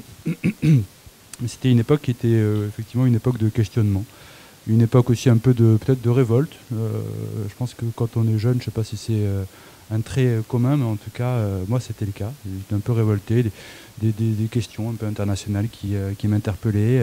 c'est un moment aussi où j'étais assez engagé en milieu associatif. Je le suis toujours, mais, mais différemment. et après mon bac, je ne savais pas trop ce que je voulais faire comme étude, donc j'ai fait plein de petits boulots intérim. Je ne regrette pas, parce que je trouve que c'est intéressant aussi de faire tous ces petits boulots intérim, parce que ça permet aussi plus facilement de se placer, euh, euh, de se positionner aussi à, la place de, l'autre avec un, grand A dans toute la diversité des métiers et des profils qu'on peut, retrouver. Euh, beaucoup de petits métiers, des métiers pas terribles. Souvent quand on est intérimaire et qu'on sort du bac, on n'a pas des métiers terribles. et puis à ce moment-là, j'étais assez engagé aussi en milieu associatif. Ça m'a amené aussi à voyager bénévolement, m'engager aussi à, l'étranger. Et puis effectivement, les questions d'humanitaire, avec tout le regard un peu euh, naïf qu'on peut avoir euh, sur ces questions-là. En tout cas, moi, il était très naïf, mon regard, à, 18 ans, 20 euh, ans, sur ces, sur ces, sur ces aspects-là, m'intéressait et j'avais envie, à mon échelle, d'avoir un travail utile. C'était un peu un raisonnement un peu, basique, on va dire, qui s'est construit au fur et à mesure et déconstruit, complexifié au fur et à mesure. Mais en tout cas, c'était un peu ça l'idée. C'était ce qui motivait mon engagement et c'est ce qui a motivé aussi le fait que bah, j'ai cherché quelles étaient un peu les études après le bac qui pouvaient euh, du coup me permettre de, travailler dans le secteur. Et donc peut-être euh, quatre ans après le bac, après cette, session un peu de, recherche, de petits boulots, de voyage à l'étranger, d'engagement bénévole à l'étranger dans différents pays, etc., j'ai vu qu'il y avait un DUT à Bordeaux-Montaigne qui s'appelait Gestion du développement et de l'action humanitaire, qui n'existe plus aujourd'hui, c'était il, y a 15 ans à peu près. Et euh, entre-temps, je crois qu'il s'est appelé JUS, ou GUS, je ne sais pas comment on dit, Gestion urbaine et solidarité. Et maintenant, ça s'appelle peut-être encore différemment de, ce que j'en ai compris de nos échanges tout à l'heure. Euh, donc j'ai fait ce DUT, et puis là, c'est bon, j'étais parti. Ça y est, j'avais trouvé euh, finalement un peu les études qui me plaisaient bien. et donc après le DUT, j'avais envie de poursuivre les études, chose que, si on m'avait dit ça quelques années auparavant, je j'aurais cru personne. Je me souviens même d'un proviseur de mon lycée qui m'avait dit si un jour tu as le bac, on sabrera le champagne. Euh, je trouve que c'est un pied de nez aussi. Je rejoins aussi ce qu'a dit ma collègue, comme quoi finalement il n'y a pas de chemin euh, tout tracé. Euh, il y a aussi la possibilité de trouver finalement des voies de traverse. Et ça, c'est intéressant. et donc après le DUT, j'ai poursuivi. J'ai fait un master en coordination de projets de solidarité internationale et locale. Euh, et puis là, j'ai travaillé euh, après, ce, après ce master, euh, essentiellement en France, puisque je, travaillais dans le réseau régional multi-acteurs à l'époque de l'Aquitaine, avant la, la, réforme territoriale de 2015, si ma mémoire est bonne. Je regarde mes collègues des collectivités, je suis sûr qu'ils connaissent cette date par cœur, cette année par cœur. j'ai travaillé par la suite dans le réseau régional multi-acteurs de Nouvelle-Aquitaine, euh, donc après cette réforme territoriale qui s'appelle euh, SOCOopération, dans lequel je continue toujours à travailler un petit peu, je ne l'ai pas dit tout à l'heure pour ne pas complexifier le, parcours, mais, j'ai toujours une petite partie de mon temps de travail aussi au sein de ce réseau. Et, euh, puis, entre-temps, je fais un peu des éclipses temporelles, mais entre-temps, j'ai repris des études ensuite, après, après ce master, et j'ai fait un autre master à sciences politiques aussi, un M2 en relations internationales. Euh, et j'ai aussi eu mon son bien, et puis ça fait un joli pied de nez, effectivement, l'approviseur qui m'avait dit, euh, de toute manière, euh, toi, on savoura le champagne, et puis file, va-t'en. et, puis, et puis quelques expériences à l'étranger aussi. j'ai aussi travaillé dans le cadre d'une coopération décentralisée avec la province d'El Ajeb au Maroc. un an et demi, deux ans au Maroc aussi, sur des projets d'engagement autour de, de jeunesse, on va dire. comment soutenir l'engagement des jeunes et comment faire en sorte que les politiques publiques jeunesse tiennent davantage compte aussi de la parole des jeunes au Maroc, euh, au sein de structures d'éducation populaire. Euh, un petit peu au, Ladakh, dans le Cachemire, euh, territoire disputé entre l'Inde et, le Pakistan, sur un projet, on appelle ça des projets intégrés, c'est-à-dire c'est des projets qui ont différents volets, eau, mais, mais, aussi des questions de santé, des questions de nutrition, à l'échelle d'un territoire, comment on pouvait améliorer cette situation au niveau d'un territoire et par le prisme de différentes entrées thématiques. Donc comment on pouvait créer finalement une gouvernance, un système de, concertation, de décision des différents acteurs du territoire pour mieux gérer l'accès à l'eau, les questions d'assainissement, mais aussi les questions aussi d'accès à l'éducation, etc. Euh, puis une petite expérience aussi au, euh, au, Bénin, en Turquie aussi euh, également. Voilà, quelques expériences à l'étranger puis beaucoup, beaucoup, beaucoup en France. voilà en gros pour le, pour le parcours dans les, dans les grandes lignes. Et puis aussi, je continue à être engagé aussi bénévolement, mais ça j'en ai parlé, j'en ai parlé tout à l'heure. Merci. Donc, la formation que vous avez suivie, elle a été recyclée aujourd'hui dans le cadre d'un but de carrière sociale animation sociale et socioculturelle. Donc on est moins dans la dimension humanitaire qu'avant. Mais quand même, elle peut en faire partie. Pardon. Donc euh, vous aussi, Madame Sapin, euh, votre parcours d'études va parler à certains de nos étudiants puisque vous avez réalisé une, licence langue étrangère appliquée. Est-ce que pareil, vous pouvez nous dresser les grandes lignes pour que nos étudiants puissent se projeter voilà, euh, dans, des avenirs? Merci. Donc effectivement, j'ai fait LEA euh, le anglais-espagnol à, l'université de Limoges. J'ai fait une, maîtrise. À l'époque, on disait une maîtrise. J'employais des vocabulaires qui existaient. Et puis ensuite, euh, alors je me demandais à la fin de, ma maîtrise, je me disais l'interprétariat, la traduction, moi j'aime beaucoup l'écrit, j'aime beaucoup l'écrit. L'enseignement, non, mais l'interprétariat. Puis bon, je me sentais pas encore tout à fait bon prête, et puis j'étais curieuse. Donc bref, je suis partie à Paris pour suivre mes études, et là j'ai fait une, licence de relations internationales à l'Iléry, qui est une, école euh, de, relations internationales privée. Et puis, euh, et puis ensuite euh, la Sorbonne, où j'ai fait un DEA de, de relations internationales. à l'époque, c'était une faculté de sciences politiques. Et donc ça, voilà, j'ai trouvé, alors autant à la fin de, mon, enfin, ma maîtrise de LEA, je ne savais pas trop vers où aller. Et puis je me suis dit, bah, je prends le temps, je, voilà, je, sais pas, j'aimais l'histoire, je, voilà, et puis bon, tu une licence de relations internationales, c'était une année en plus, ça me donnait le temps d'eux. Et là, pour le coup, je me suis vraiment intéressée. Euh, euh, à tout, voilà, au droit international public, des choses comme ça. Euh, il faut, alors, euh, j'allais dire, il faut pas se laisser. Euh, la, vie souvent nous met des, barrières, mais c'est pour qu'on les saute. je me rappelle quand j'étais en DEA, il y avait une, option diplomatie, une option stratégie, stratégie avec des courtes stratégies militaires, etc. Et ben, la, filière diplo, elle était déjà pleine, il y avait beaucoup de... Enfin, était pleine. Moi, je suis allée en stratégie, ça m'intéressait beaucoup. On a travaillé sur la théorie des jeux, des choses, j'ai adoré. J'étais la seule fille de la, de la, de la filière stratégie. Et euh, je, le raconte, c'est une anecdote, mais euh, c'est pour dire qu'il ne faut pas se laisser... Euh, on avait des, sujets de, on faisait des, des, sujets de recherche et moi j'avais fait, c'était en 95, 94, j'avais fait une recherche sur le risque terroriste. Euh, euh, et, le prof, euh, émérite, un des grands profs de la Sorbonne, m'a dit Enfin, mademoiselle, mais le risque terrorisme en France, on était en 94. Il m'avait dit Mais oh, c'est pas encore, vraiment, vraiment, mais oh, ces jeunes filles, elles feraient mieux de faire un DEA de couture ou de cuisine. Et on était en 94, hein, je parle pas de 1830, hein, c'est le prof, il m'a ratatiné en tant que fille devant tous mes camarades mecs. Hein. Et euh, bon, j'ai continué euh, mon année. Hein, j'ai pas. Mais enfin, enfin, on peut. Enfin, faut, faut pas se laisser impressionner par euh, ou démotiver par des des, des, des, trucs comme ça. Ensuite, j'ai. je, trouvais que c'était tout ça très théorique. J'avais un petit peu envie de, de d'être dans la pratique. J'ai eu la chance de rencontrer une femme formidable qui était à l'UNESCO à l'époque, au secteur éducation fondamentale. Et donc pendant un an, j'étais avec elle, une sorte de stage de.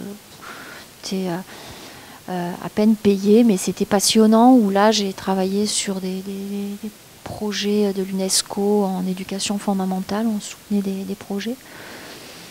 Ensuite, euh, également, j'ai trouvé une sorte de stage, je dis stage parce que je n'étais pas payée, mais à, ben, la mairie de Paris à l'époque, aux relations internationales. Donc déjà, j'étais un peu sur la voie, je me dis, ah, ça, ça m'intéresse bien. Ce qui m'intéressait du coup, moi je visualisais LEH, je parlais des langues, relations internationales. Alors moi je, oh, rêvais de, l'ONU, de l'UNESCO, des grandes organisations. Mais je me suis rendu compte aussi que c'était très éloigné de la vraie vie quand même. Enfin, c'était, des trucs où on était très très loin de. Bon, et puis j'ai passé un concours, pas de la fonction publique territoriale, de la DGSI. Euh, ça m'intéressait, c'est aussi des relations internationales, hein, la DGSI. Euh, alors pour la petite histoire, j'ai eu l'écrit et puis euh, j'ai été recalée à l'oral sur l'espagnol, sachant que DGSI, c'est les, renseignements, les services secrets. DGSI, oui, c'est les, renseignements du, territoire français, mais à l'international. Pas c'est pas la DST. Enfin, à l'époque, il y avait la DST pour le territoire français, la DGSI sur l'extérieur. Euh, donc, euh, j'ai passé le concours et j'étais recalée à l'oral sur l'espagnol. Alors, qu'aujourd'hui, euh, c'est, je le parle tous les jours, tout le temps, comme quoi. et je partage cette expérience. C'est à l'époque, je sais pas, j'étais toute, toute jeune. J'avais eu le bac avec deux ans d'avance, donc du coup j'étais assez. Enfin bref, j'étais, j'étais pas assez mûre. je me suis dit, ah, j'ai raté le concours. Ben, j'ai raté. Alors que, ben non, il faut le représenter une deuxième fois. Rater un concours, c'est rien. j'aurais dû, aujourd'hui je le dis, j'aurais dû le représenter. À l'époque, je me suis dit, bah, j'ai raté. il faut que je passe à autre chose. Et puis, euh, et puis du coup, bah, la vie euh, aussi fait que j'ai eu des, enfants, il fallait que je donc fallait que je travaille. Et là, ben, je suis partie dans le privé et je me suis retrouvée euh, comme quoi euh, pour euh, le groupe Accor, chargée de communication dans le groupe Accor à Paris, et ensuite chargée de communication pour un groupe pharmaceutique. Donc j'étais dans le privé. Puis il a fallu que je quitte Paris. Bon, et que j'atterrisse à Bordeaux que je trouve un boulot, parce que j'avais toujours mes enfants à nourrir. Donc un peu d'intérim, parce que voilà, et c'est vrai que ça, ça, ouvre. Euh, enfin voilà, c'est bien. Ça, ça, ça, on garde les pieds euh, aussi un petit peu euh, sur terre. Et puis le, les hasards de la vie, des rencontres, il y avait ah, un poste d'attaché parlementaire et puis moi j'aime bien écrire et euh, je suis prise sur un poste d'attaché parlementaire à Bordeaux. Euh, donc euh, ok, je suis attachée parlementaire, ça, ne dure jamais très longtemps, hein, tout ce qui est collaborateur, attaché, tout ça, il faut le savoir, mais c'est une, expérience. Et puis, mais j'étais, voilà, j'avais un, orteil à la, à la mairie de Bordeaux. Alors je ne suis pas fonctionnaire, Jean-Michel en parlait, moi je suis, et encore aujourd'hui, contractuelle. Euh, de la fonction publique. Euh, voilà, je suis contractuelle dans la fonction publique territoriale. Mais par contre, si vous envisagez la fonction publique territoriale, passez un concours parce que aujourd'hui, euh, d'abord, il y en a de moins en moins de contractuels qui sont pris sur, en contractuel et c'est pas confortable. C'est pas enfin c'est pas c'est c'est ben, contractuel. Hein, c'est d'abord il faut faire deux fois trois ans sur le même poste au même grade pour pouvoir espérer un CDI, hein, parce que là on tombe dans, un circuit normal, hein. contractuel, c'est deux fois trois ans pour avoir en CDD, pour avoir un CDI, hein, avec diverses euh, contraintes. Et euh, donc moi j'ai beaucoup bougé, donc je suis rentrée attachée parlementaire. Ensuite, pour vous faire très court, j'ai écrit des discours Ensuite, euh, j'ai été chef du protocole et des réceptions à la mairie de Bordeaux. Et puis euh, ensuite, pendant quand même cinq ans, j'étais chargée de mission proximité vie des quartiers. J'en parle parce que euh, tout est toujours utile. je ne faisais pas le job pour lequel j'avais fait des études, mais, mais ça m'a nourri quand même. Il faut toujours trouver ce qui peut nourrir. Et notamment justement cette notion de territoire, d'habitants, de citoyens, de, diaspora, de communauté, d'associations aussi, le lien avec les associations. Aujourd'hui, il se trouve que la vie a fait que j'ai enfin pu travailler dans le métier pour lequel je me suis formée. Et je suis la seule d'ailleurs dans ma direction. Euh, mes collègues n'ont pas fait d'études de relations internationales. Comme quoi. Et alors qu'elles travaillent depuis plus longtemps que moi dans le service, mais sans avoir fait forcément les études. Et moi, je, suis la seule à avoir fait des études. Et, euh, euh, et, aujourd'hui, mon travail se nourrit aussi de toutes les expériences. Tout est toujours utile. Il y a toujours, vraiment, hein, tout, ce que j'ai pu parcourir, ça m'a toujours servi. Donc il faut tout est toujours utile et puis il faut persévérer. Merci. Donc nous arrivons au troisième tour de table, le dernier, hein, et euh, pour essayer de rompre un petit peu le, rythme, puisque ce, troisième questionnement concerne l'emploi, comment on est recruté dans ces secteurs, etc. Si vous pouvez nous donner vos impressions et vos conseils. En dehors de l'emploi aussi, est-ce qu'on peut faire des stages, etc mais nous avons eu euh, une remontée de questions d'un étudiant qui a écrit euh, à DOSIP, à notre structure. S'il est là, est-ce qu'il aurait envie de poser cette question ou ces questions lui-même ou elle-même? Je ne sais pas. Il s'agit de Aïssatou. Aïssatou, vous êtes là? Ah oui. Ah merci Aïssatou. C'est un plaisir de vous voir parce que vous aviez de nombreuses questions par rapport à l'emploi. Et si vous avez envie, ça nous ferait plaisir si vous voulez poser vos questions. Voilà. Ça changera un petit peu de notre présence à. Ah oui, vous voulez qu'on vous redonne la formulation? Euh, Bonsoir tout le monde. Je m'appelle Aïssatou, étudiante en master en communication à l'ISIC. Donc ma première question, c'était par rapport aux compétences requises pour travailler euh, dans la solidarité internationale. Je donne toutes les questions en même temps. Euh? Ok. Et la seconde, c'était par rapport au fait que trouver un travail dans la solidarité internationale, ce n'est pas une chose qui est facile. Donc qu'est-ce que vous euh, recommanderiez à une étudiante qui est intéressée, qui veut travailler dans ce domaine? Et la dernière, c'est par rapport au stage et tout, si, si les structures euh, prennent des stagiaires en communication.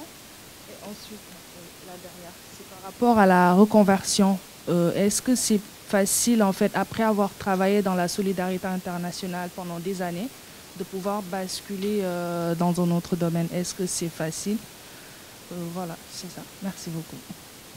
Beaucoup de questions. Alors, peut-être, je ne sais pas qui voudrait, si vous voulez euh, commencer, monsieur Arrivé, quelles compétences on peut euh, peut-être avoir d'abord avant de passer à l'emploi? Euh, oui, la réponse à cette question est finalement, je crois, contrairement à ce qu'on pourrait croire, assez subjective, parce que ça, touche un tel éventail de choses, la, pratique des, relations internationales, des coopérations internationales, que ça, finit par faire beaucoup, beaucoup de choses à ajouter si on, veut vraiment en faire la liste. Et donc, euh, nécessairement, ça peut impressionner. Et je pense que hum, faut, selon les emplois, le type d'emploi, les profils, euh, modérer ou nuancer ce qu'on qu'on peut dire.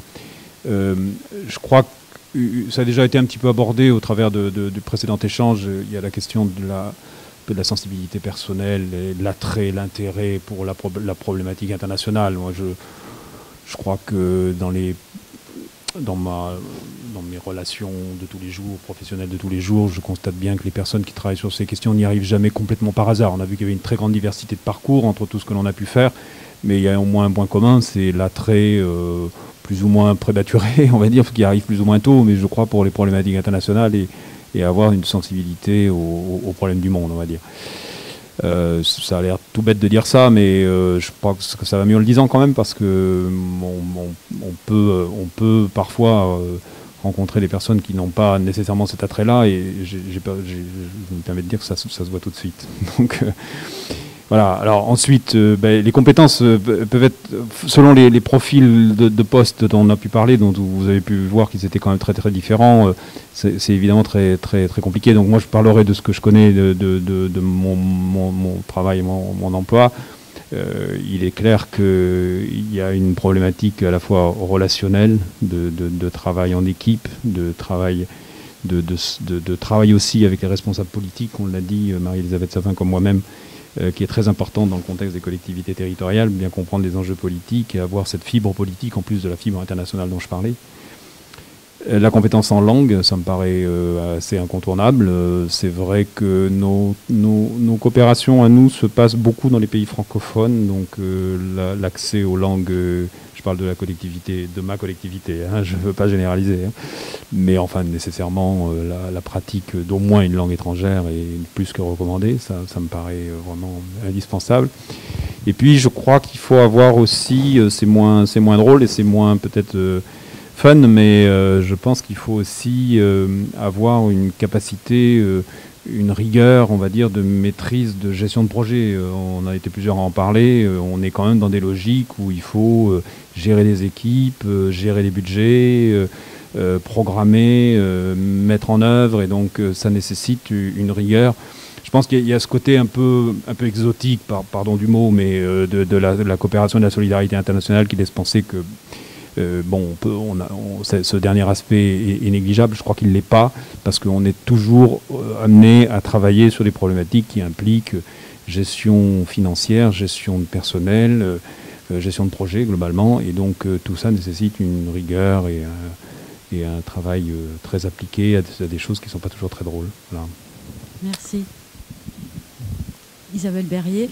Peut-être juste, juste pendant, pour qu'on compléterait après, mais est-ce qu'en dehors de postes d'encadrement, c'est-à-dire catégorie A, hein, si c'est des concours ou, même si c'est contractuel, est-ce qu'il peut y avoir euh, des postes inférieurs euh, au niveau d'encadrement des catégories B, hein, qui encadrent aussi éventuellement, mais est-ce que c'est ouvert à, toutes les catégories, ces métiers de la solidarité? Je ne suis pas sûre.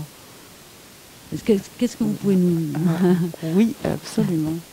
Oui? Euh, alors, mais ça dépend à quel niveau et ce qu'on fait. Après, plus les projets sont loin et grands, euh, plus euh, effectivement il faut avoir une certaine maturité, une certaine expérience, un, background qui fait que euh, on peut se permettre de rentrer sur des projets comme ça, c'est sûr que. Mais après on peut on peut avoir déjà commencé par une expérience associative autour de, chez soi en fait, tout simplement. Et c'est un début en fait, commencer à, à rencontrer différents types de publics au quotidien, essayer de se sortir de son de son, aller voir des personnes plus âgées, travailler auprès de personnes plus âgées ou d'une catégorie sociale euh, d'une CSP différente ou d'un tout ça, ça contribue en fait à, à ouvrir, euh, à s'ouvrir et à être prêt le moment où petit à petit dans sa carrière on, pourra partir dans d'autres euh, territoires où on ne connaît pas du tout la culture, où on ne connaît pas du tout les us et coutumes et on pourra travailler avec ce type de personnes. Mais pour, pour revenir, euh, euh, quoi, juste avant de, venir ici, j'ai fait le point avec euh, la, la, DRH d'Initiative Développement, qui fait ce métier-là depuis 20 ans à Initiative Développement. Et je lui ai demandé, ben toi, comment... C'est un peu une pierre angulaire chez nous, c'est elle qui est la garante de l'esprit d'Initiative Développement, et c'est quelqu'un qui m'a fait passer un entretien d'embauche inoubliable. Donc j'étais très heureuse de pouvoir partager euh, ça avec elle pour pouvoir vous le partager. Et je lui ai demandé euh, aujourd'hui, euh, par rapport à l'évolution, par rapport à ce qu'elle, au profil qu'elle recherchait. Et elle, m'a dit qu'il y a clairement, il y, a, il y a 20 ans, on cherchait beaucoup plus d'ingénieurs, genre ingénieurs. Il fallait être bon en agronomie, il fallait être bon en, en assainissement, il fallait être bon sur des choses comme ça. Et aujourd'hui, euh, les compétences sont sur le terrain en fait.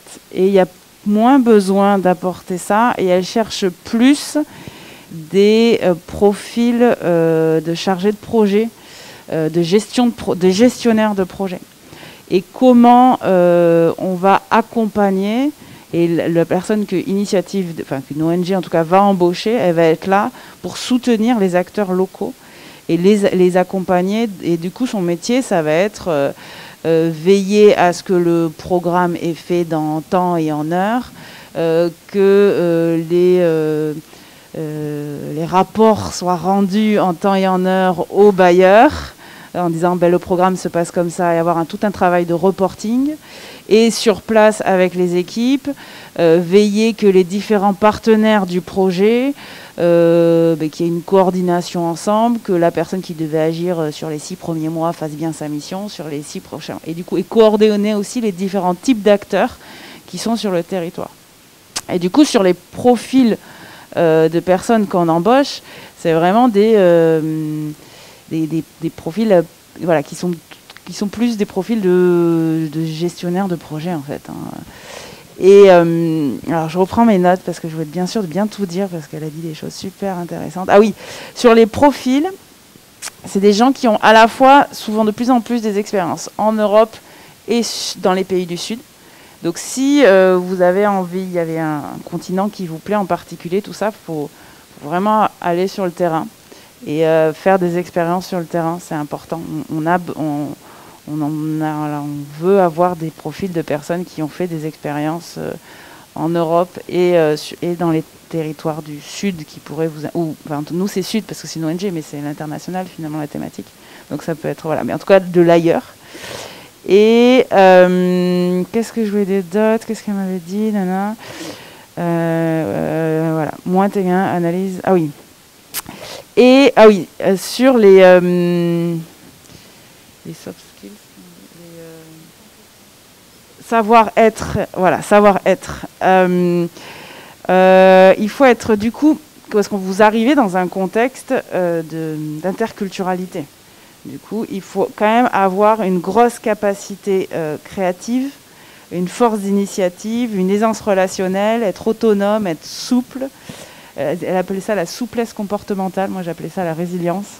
Mais c'est comment, euh, ben ça, ça marche pas. Ok, ben il y a un plan A, un plan B, un plan C, et c'est pas grave, on avance et c'est cool et tout le monde va bien. Euh, de la maturité relationnelle pour pouvoir s'adapter dans des milieux culturels inconnus.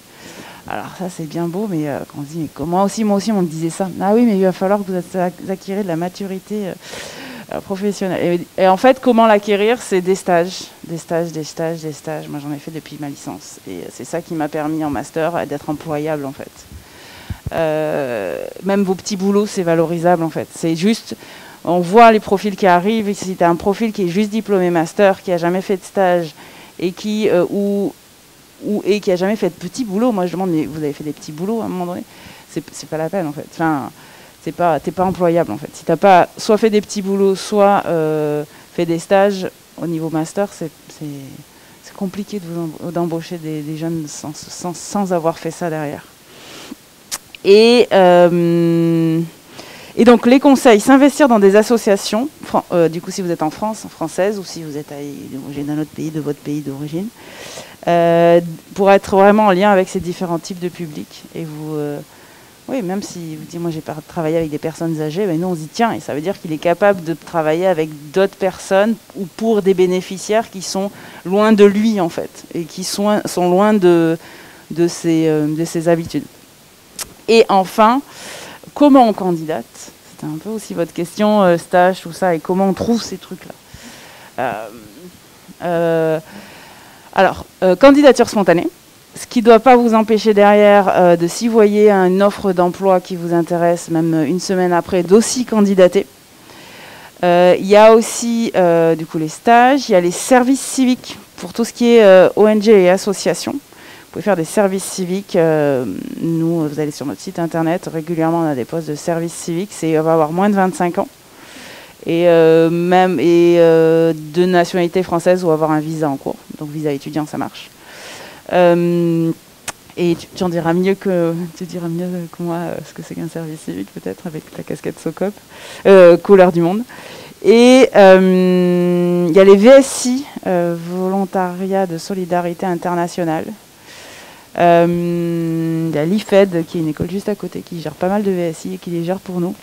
Euh, en tout cas, les VSI.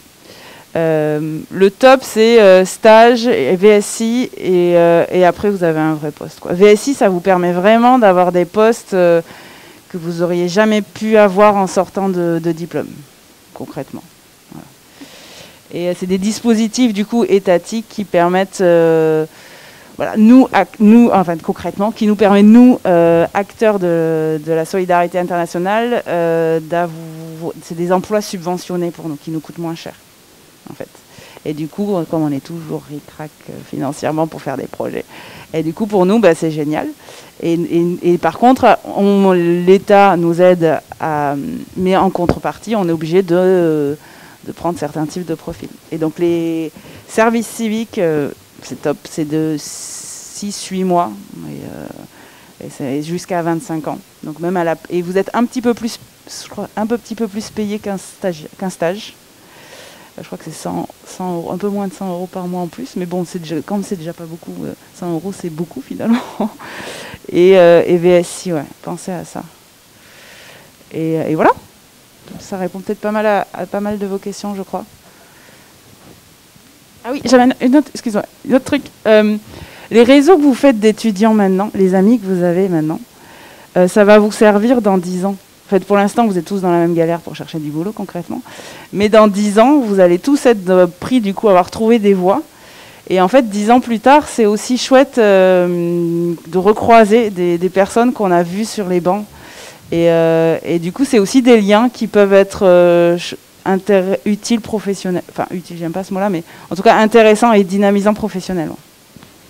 Voilà. Merci. Euh, monsieur Avec Madame Sapin, est-ce que vous avez des choses à ajouter qui viendraient compléter euh, ce qui vient d'être dit? Je vous ai beaucoup vu hocher de la tête. Je pense qu'il doit y avoir des différences dans les milieux au niveau des spécialités. D'accord. On passera à une autre question après.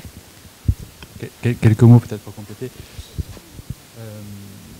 Bah, la question des compétences, je pense que, que Jean-Michel l'a dit, euh, elle est euh, complexe parce que du coup, elle doit être interrogée en fonction euh, euh, des types de structures. Ça, il faudrait un tableau croisé dynamique. Hein.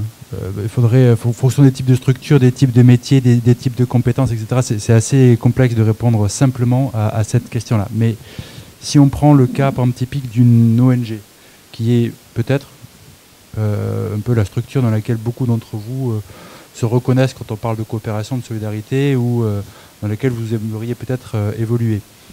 Euh, ça, a été dit également, mais c'est un secteur qui s'est beaucoup professionnalisé, euh, la coopération, depuis, euh, depuis plusieurs dizaines d'années, c'est tant mieux. Cette professionnalisation, elle s'est accompagnée aussi d'une spécialisation aussi des métiers très forte, où, du coup on a une, panel, un panel pardon, de métiers au sein, je prends, le cas d'une ONG, hein, au, sein d'une ONG, du moment qu'elle a une taille aussi critique, une taille suffisante, qui est, très fort et qui est, dans certains aspects, euh, euh, comparable à ce qu'on peut trouver aussi dans une grande entreprise. C'est-à-dire qu'on a des, a des fonctions support au siège, où on a des responsables administratifs financiers, des personnes chargées de la communication, des directions des ressources humaines, des, directions de plaidoyer, etc., etc. On a des fonctions aussi euh, terrain, euh, où là on a des chefs de projet, on a des chargés de projet ou chargés de programme souvent quand le, le, est plus conséquente. On a des, coordinateurs aussi euh, euh, par pôle, ce qu'on appelle des desks, euh, ou par pays, donc soit par pays, soit par, région. On peut avoir un, desk Afrique subsaharienne, par exemple, etc. et puis on a aussi des référents techniques aussi au, au, niveau du terrain, des personnes qui ont une expertise technique sur un sujet, par exemple les questions d'eau, d'hygiène, assainissement, de santé, de nutrition, euh, puis, puisque, et puis on a des... des, euh, euh, en fait, ce qu'il faut comprendre, c'est qu'il y a à la fois des fonctions siège et des fonctions terrain qui diffèrent. Et il y a aussi des, des, des, compétences transversales et des compétences spécifiques. C'est-à-dire que, euh, je pense que ça fait écho aussi à ce qui va être dit, quand on recherche davantage aujourd'hui euh, des, chargés de projet ou chargés de métier, c'est des personnes qui seront en capacité, quelle que soit l'entrée thématique, euh, de mobiliser les compétences nécessaires à la gestion de projet. Puisque que le projet soit un projet d'eau, euh, de santé, euh, d'éducation ou quoi que ce soit, ça reste de la gestion de projet. C'est-à-dire que finalement, il faut toujours savoir euh, planifier, programmer, suivre, piloter, évaluer, gérer des activités, des budgets, des ressources humaines, euh, rendre compte, etc., etc. Donc ça, c'est des compétences qui sont transversales. Ensuite, on a des compétences métiers spécifiques qui sont inhérentes à une expertise euh, sur un domaine thématique précis. en fait, le travail d'un chargé de projet, chargé de programme, etc., c'est aussi un travail un peu d'assemblier. C'est-à-dire finalement d'être en capacité de pouvoir mobiliser les différentes compétences pour gérer euh, à son niveau euh, toute une équipe dans le cadre d'un projet, dans le cadre d'un programme. Et là où je pense que ça fait aussi écho à ce qui a été dit, on, va peut-être davantage rechercher aujourd'hui qu'hier des fonctions un peu plus globales, chargées de projet, etc. Euh, je pense que c'est aussi révélateur d'une évolution euh, positive aussi du secteur où euh, on est moins, pour le dire trivialement, moins qu'avant, toujours malheureusement pour partie, parce que c'est pas un, derrière le rideau de, l'humanitaire, il y a, des, pratiques qui sont plus ou moins louables. on est quand même moins dans de la coopération à la papa. C'est-à-dire que on, va de plus en plus, et c'est tant mieux, considérer que les compétences, on n'est pas les seuls à les avoir, euh, que les compétences elles sont aussi au sein des pays dans lesquels on intervient et qu'il s'agit de les mobiliser. Et donc par conséquent, on n'a plus finalement ce rôle-là où on a tout le processus décisionnel, toute l'expertise technique qui vient d'en haut et qui tomberait sur un territoire pour être mise en œuvre.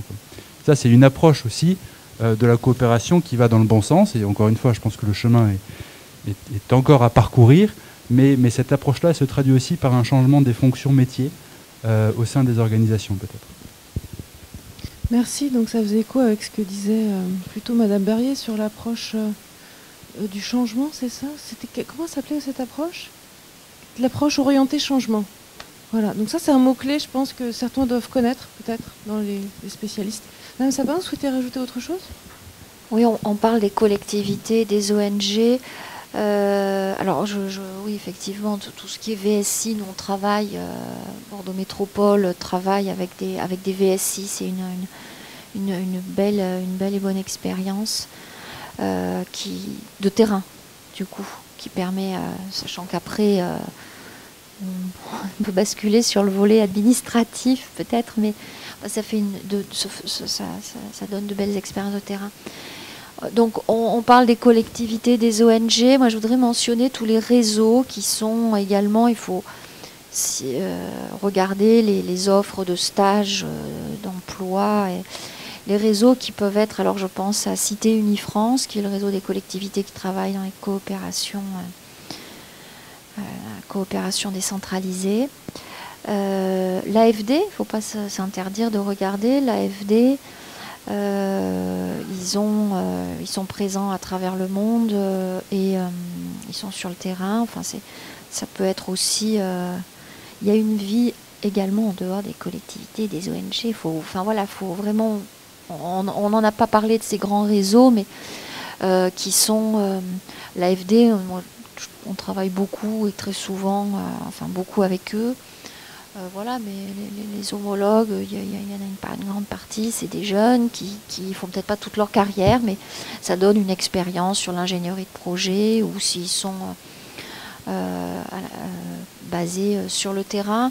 Également, alors par contre, je ne sais pas comment, mais je, travaille souvent, moi, avec la, DG Trésor, les ambassades de France. Alors les ambassades aussi, hein, le Quai d'Orsay, l'Institut français, et ça sur le volet culturel. Les ambassades de France, et sachant que dans les ambassades de France, il y a les services économiques régionaux qui dépendent du ministère de l'économie et des finances. Dans chaque ambassade de France dans le monde, il y a également, qui dépend donc du Quai d'Orsay, du ministère des Affaires étrangères, il y a également un attaché de copie euh, économique qui dépend du ministère des, Et ils font un gros travail. Alors moi je dis ça parce que par exemple j'utilise beaucoup leurs données, euh, la DG Trésor dans le monde. Euh, parce qu'ils ont ils font des analyses financières, économiques, commerciales, bilatérales. Quand on voilà si si on a une délégation, n'importe quoi, une délégation qui vient de Bulgarie, je peux appeler la DG Trésor, l'ambassade de France, la DG Trésor, contacter. Ils ont des fiches pays, des analyses, ils ont un tas de ressources, de, tas de ressources qui peuvent nourrir les échanges un petit peu, voir quelles sont les. qui sont tout à fait actualisées. Et je dis ça parce que du coup, ben, qui dit euh, ils ont des, représentations, ils ont des postes aussi. Et ça peut être aussi des, expériences intéressantes. Euh, j'ai plusieurs euh, collègues jeunes collègues qui sont passés euh, dans ma direction pendant. bon, voilà, ils ont eu un, CDD d'un an, et puis pour diverses raisons, ils sont. Et puis ils sont partis sur d'autres. et plusieurs sont, ont atterri, entre guillemets, mais dans des ambassades attachées de coopération. on avait une VSI avec qui j'ai travaillé pas mal de temps, qui maintenant travaille comme attaché de coopération universitaire en ambassade. Voilà, y a des, ça peut être en ambassade. Là aussi, il y a, y a, la, y a la, filière des concours, mais dans, les, dans le hockey d'Orsay, il y a aussi une filière de contractuels. Donc euh, c'est également, ça peut être intéressant comme expérience, même en tant que contractuel. Les gros réseaux. UNESCO aussi. Euh, Merci. Alors, cher étudiant, un site internet incontournable pour où il y a toutes les offres, c'est Coordination Sud. On met tout là-dedans. Coordination Sud. Ça, c'est euh, toutes les offres sont dans, sur ce site internet, sur la solidarité, la solidarité internationale en tout cas. Merci. Alors, cher étudiant, est-ce que vous avez d'autres questions à poser également sur d'autres thématiques? Oui.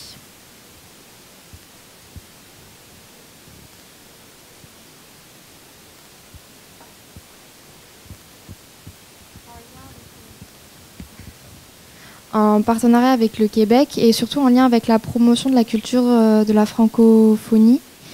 Est-ce que c'est à peu près dans votre domaine et je voulais savoir euh, comment accéder, euh, ce que c'était précisément parce que je me dessine pas trop dans le, enfin c'est l'international mais plus dans le FLE. Et du coup, je voulais voir avec vous précisément ce que vous entendiez par là, les débouchés professionnels, comment accéder à ce genre de, de domaine. Peut-être euh, pour élargir un petit peu la, focale, euh, je, me suis concentré tout à l'heure dans la présentation, euh, je crois tous ici, sur les aspects plutôt sud, coopération, solidarité, développement. Hein. mais effectivement, les collectivités territoriales développent des échanges et des coopérations aussi avec des régions européennes ou de pays du Nord développés. Donc, euh, une des orientations qui préside à ces coopérations, euh, il y a la logique de proximité, ce qui, fait que ça ne vous surprendra pas, on développe des coopérations très importantes avec nos régions voisines d'Espagne, hein, qui sont des partenaires euh, très très proches et avec lesquels il y a de multiples coopérations. Mais au nom de l'intégration européenne, on a aussi développé des échanges avec des régions allemandes, italiennes, roumaines.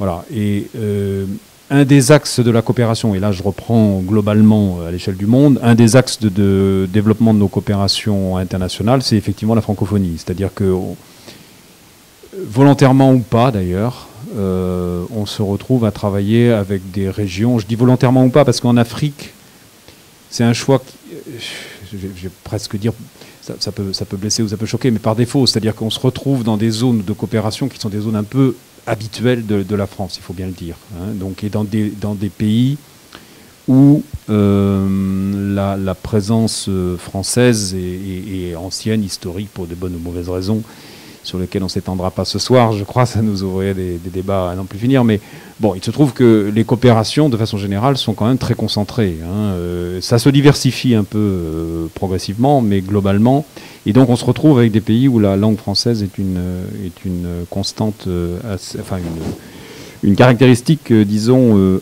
assez forte.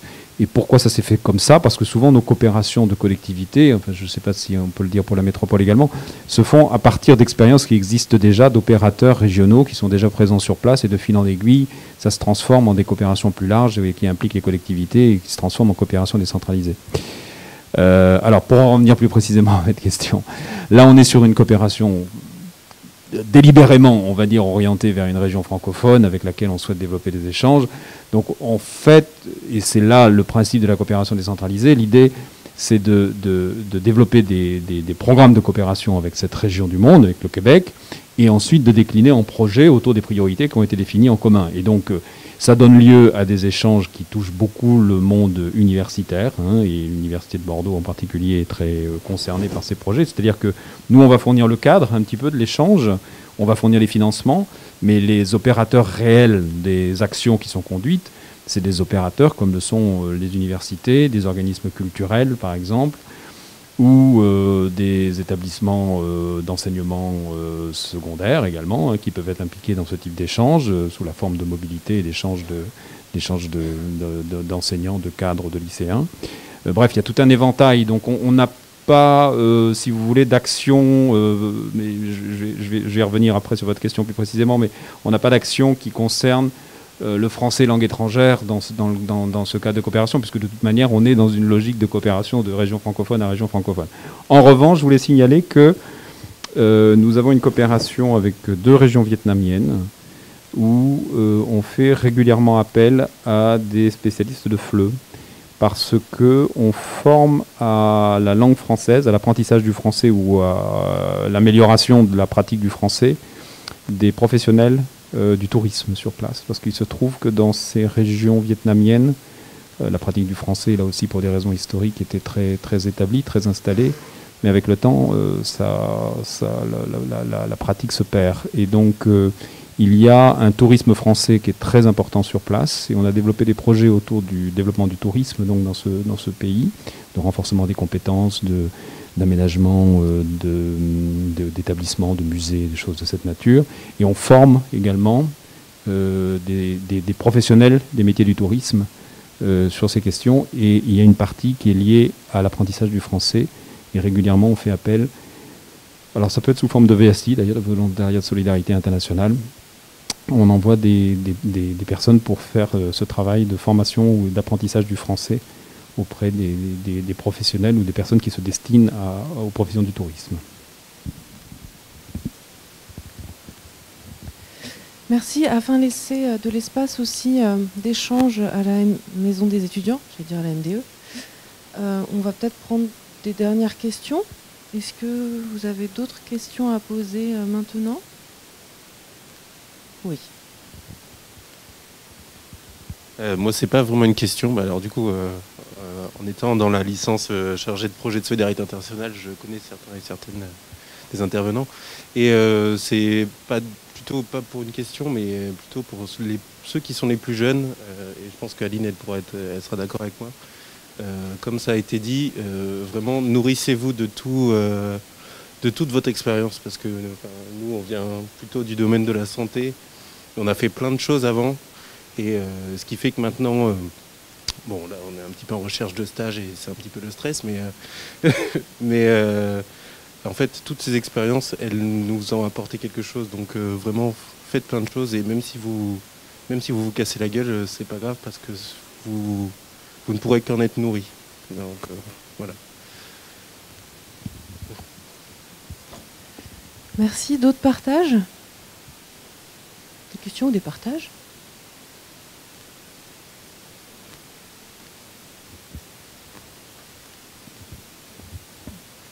Euh, Oui, moi je voulais juste ajouter, donc on avait parlé du service civique, euh, VSI, tout ça. Et il ne faut pas hésiter aussi euh, juste le bénévolat, parce que, bah, en tout cas pour une des expériences moi à l'étranger de plusieurs mois, c'était j'étais trop vieille pour le service civique le VSI, sans réelle formation, c'est pas vraiment possible. Du coup, ben, je suis partie en bénévolat et voilà, ça fait quand même une expérience. Il faut pouvoir, bien sûr, financièrement, mais voilà. Merci.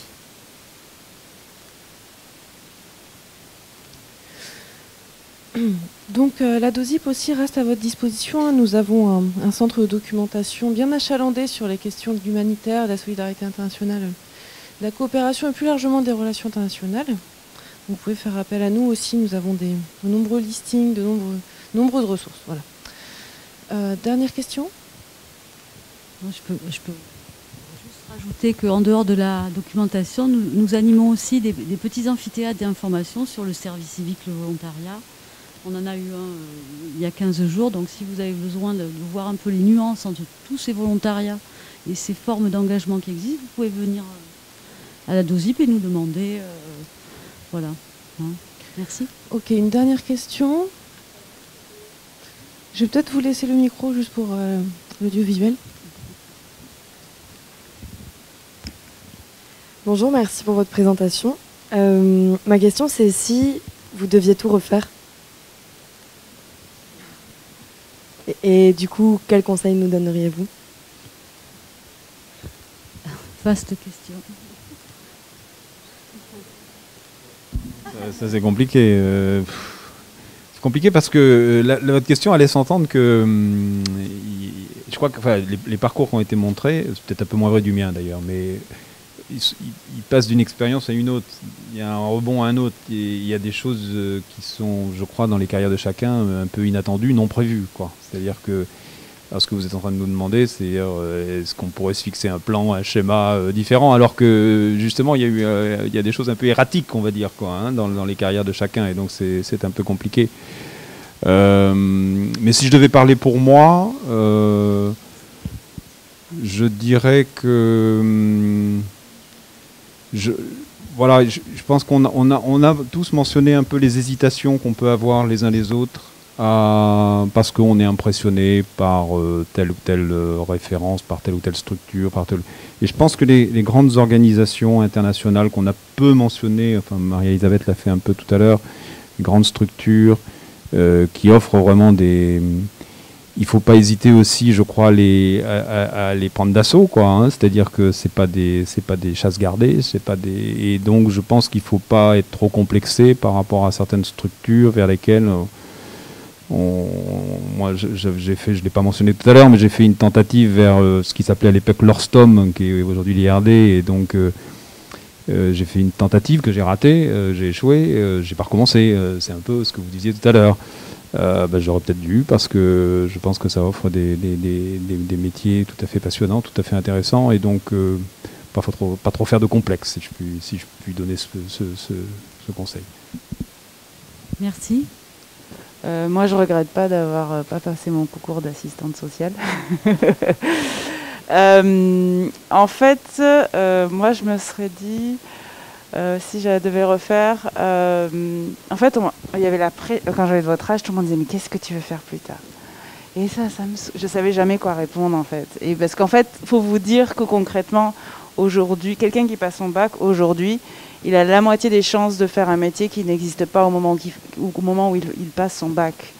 Et donc, j'aurais plus envoyé balader les gens qui me demandaient qu'est-ce que tu veux faire plus tard? Ah mais tu sais toujours pas, mais qu'est-ce que tu vas faire? Voilà, il y a ça.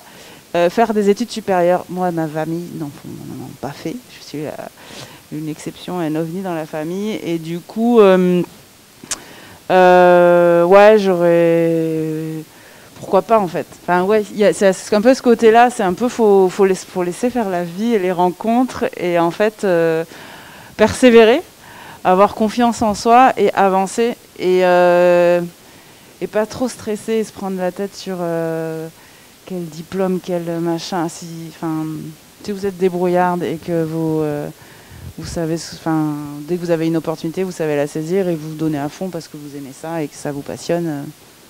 ça va, ça va se dérouler en fait. Et toutes les expériences, et vous l'avez dit, euh, on l'a dit ici aussi, toutes les expériences que vous vivez professionnelles, même celles qui vous paraissent le plus foireuses et que vous avez l'impression que c'est la fin de votre vie, en fait, derrière, ça vous fait rebondir sur un truc que vous n'aurez même pas imaginé. Et finalement, quand vous retournez, vous dites Ah ouais, ah ouais au moment où j'ai vécu ça, j'aurais jamais si j'avais pu effacer, je m'étais dit jamais de la vie, j'aurais voulu vivre ce moment-là de ma vie. Et en fait, avec du recul, on se dit ben, c'est parce que j'ai vécu ça qu'aujourd'hui, euh, derrière, j'ai fait ça. Et du coup, c'est plutôt cool. Et, euh, et du coup, c'est pour ça que votre question euh, sur comment je ne referai plus, bah, c'est compliqué d'y répondre parce qu'on ne serait pas là où on est si on n'avait pas fait tout ce parcours-là aujourd'hui, je pense. Voilà.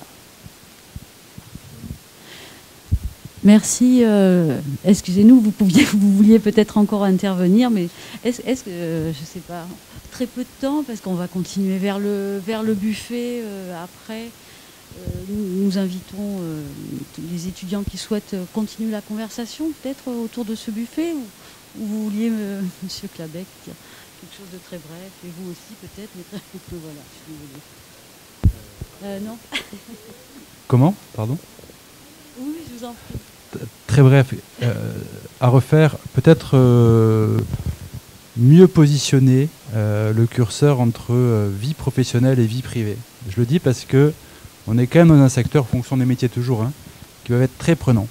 Euh, quand on part à l'étranger ou autre, c'est pas forcément conciliable, ou alors ça l'est, mais il faut arriver à le concilier avec une vie de couple, une vie de famille, des activités dans, lesquelles on prend plaisir, etc.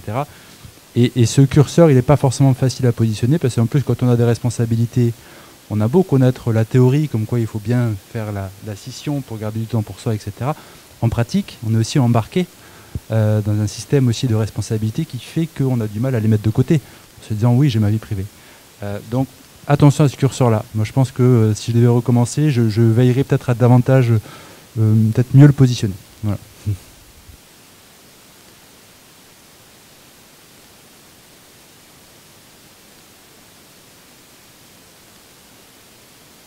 à vous, merci beaucoup.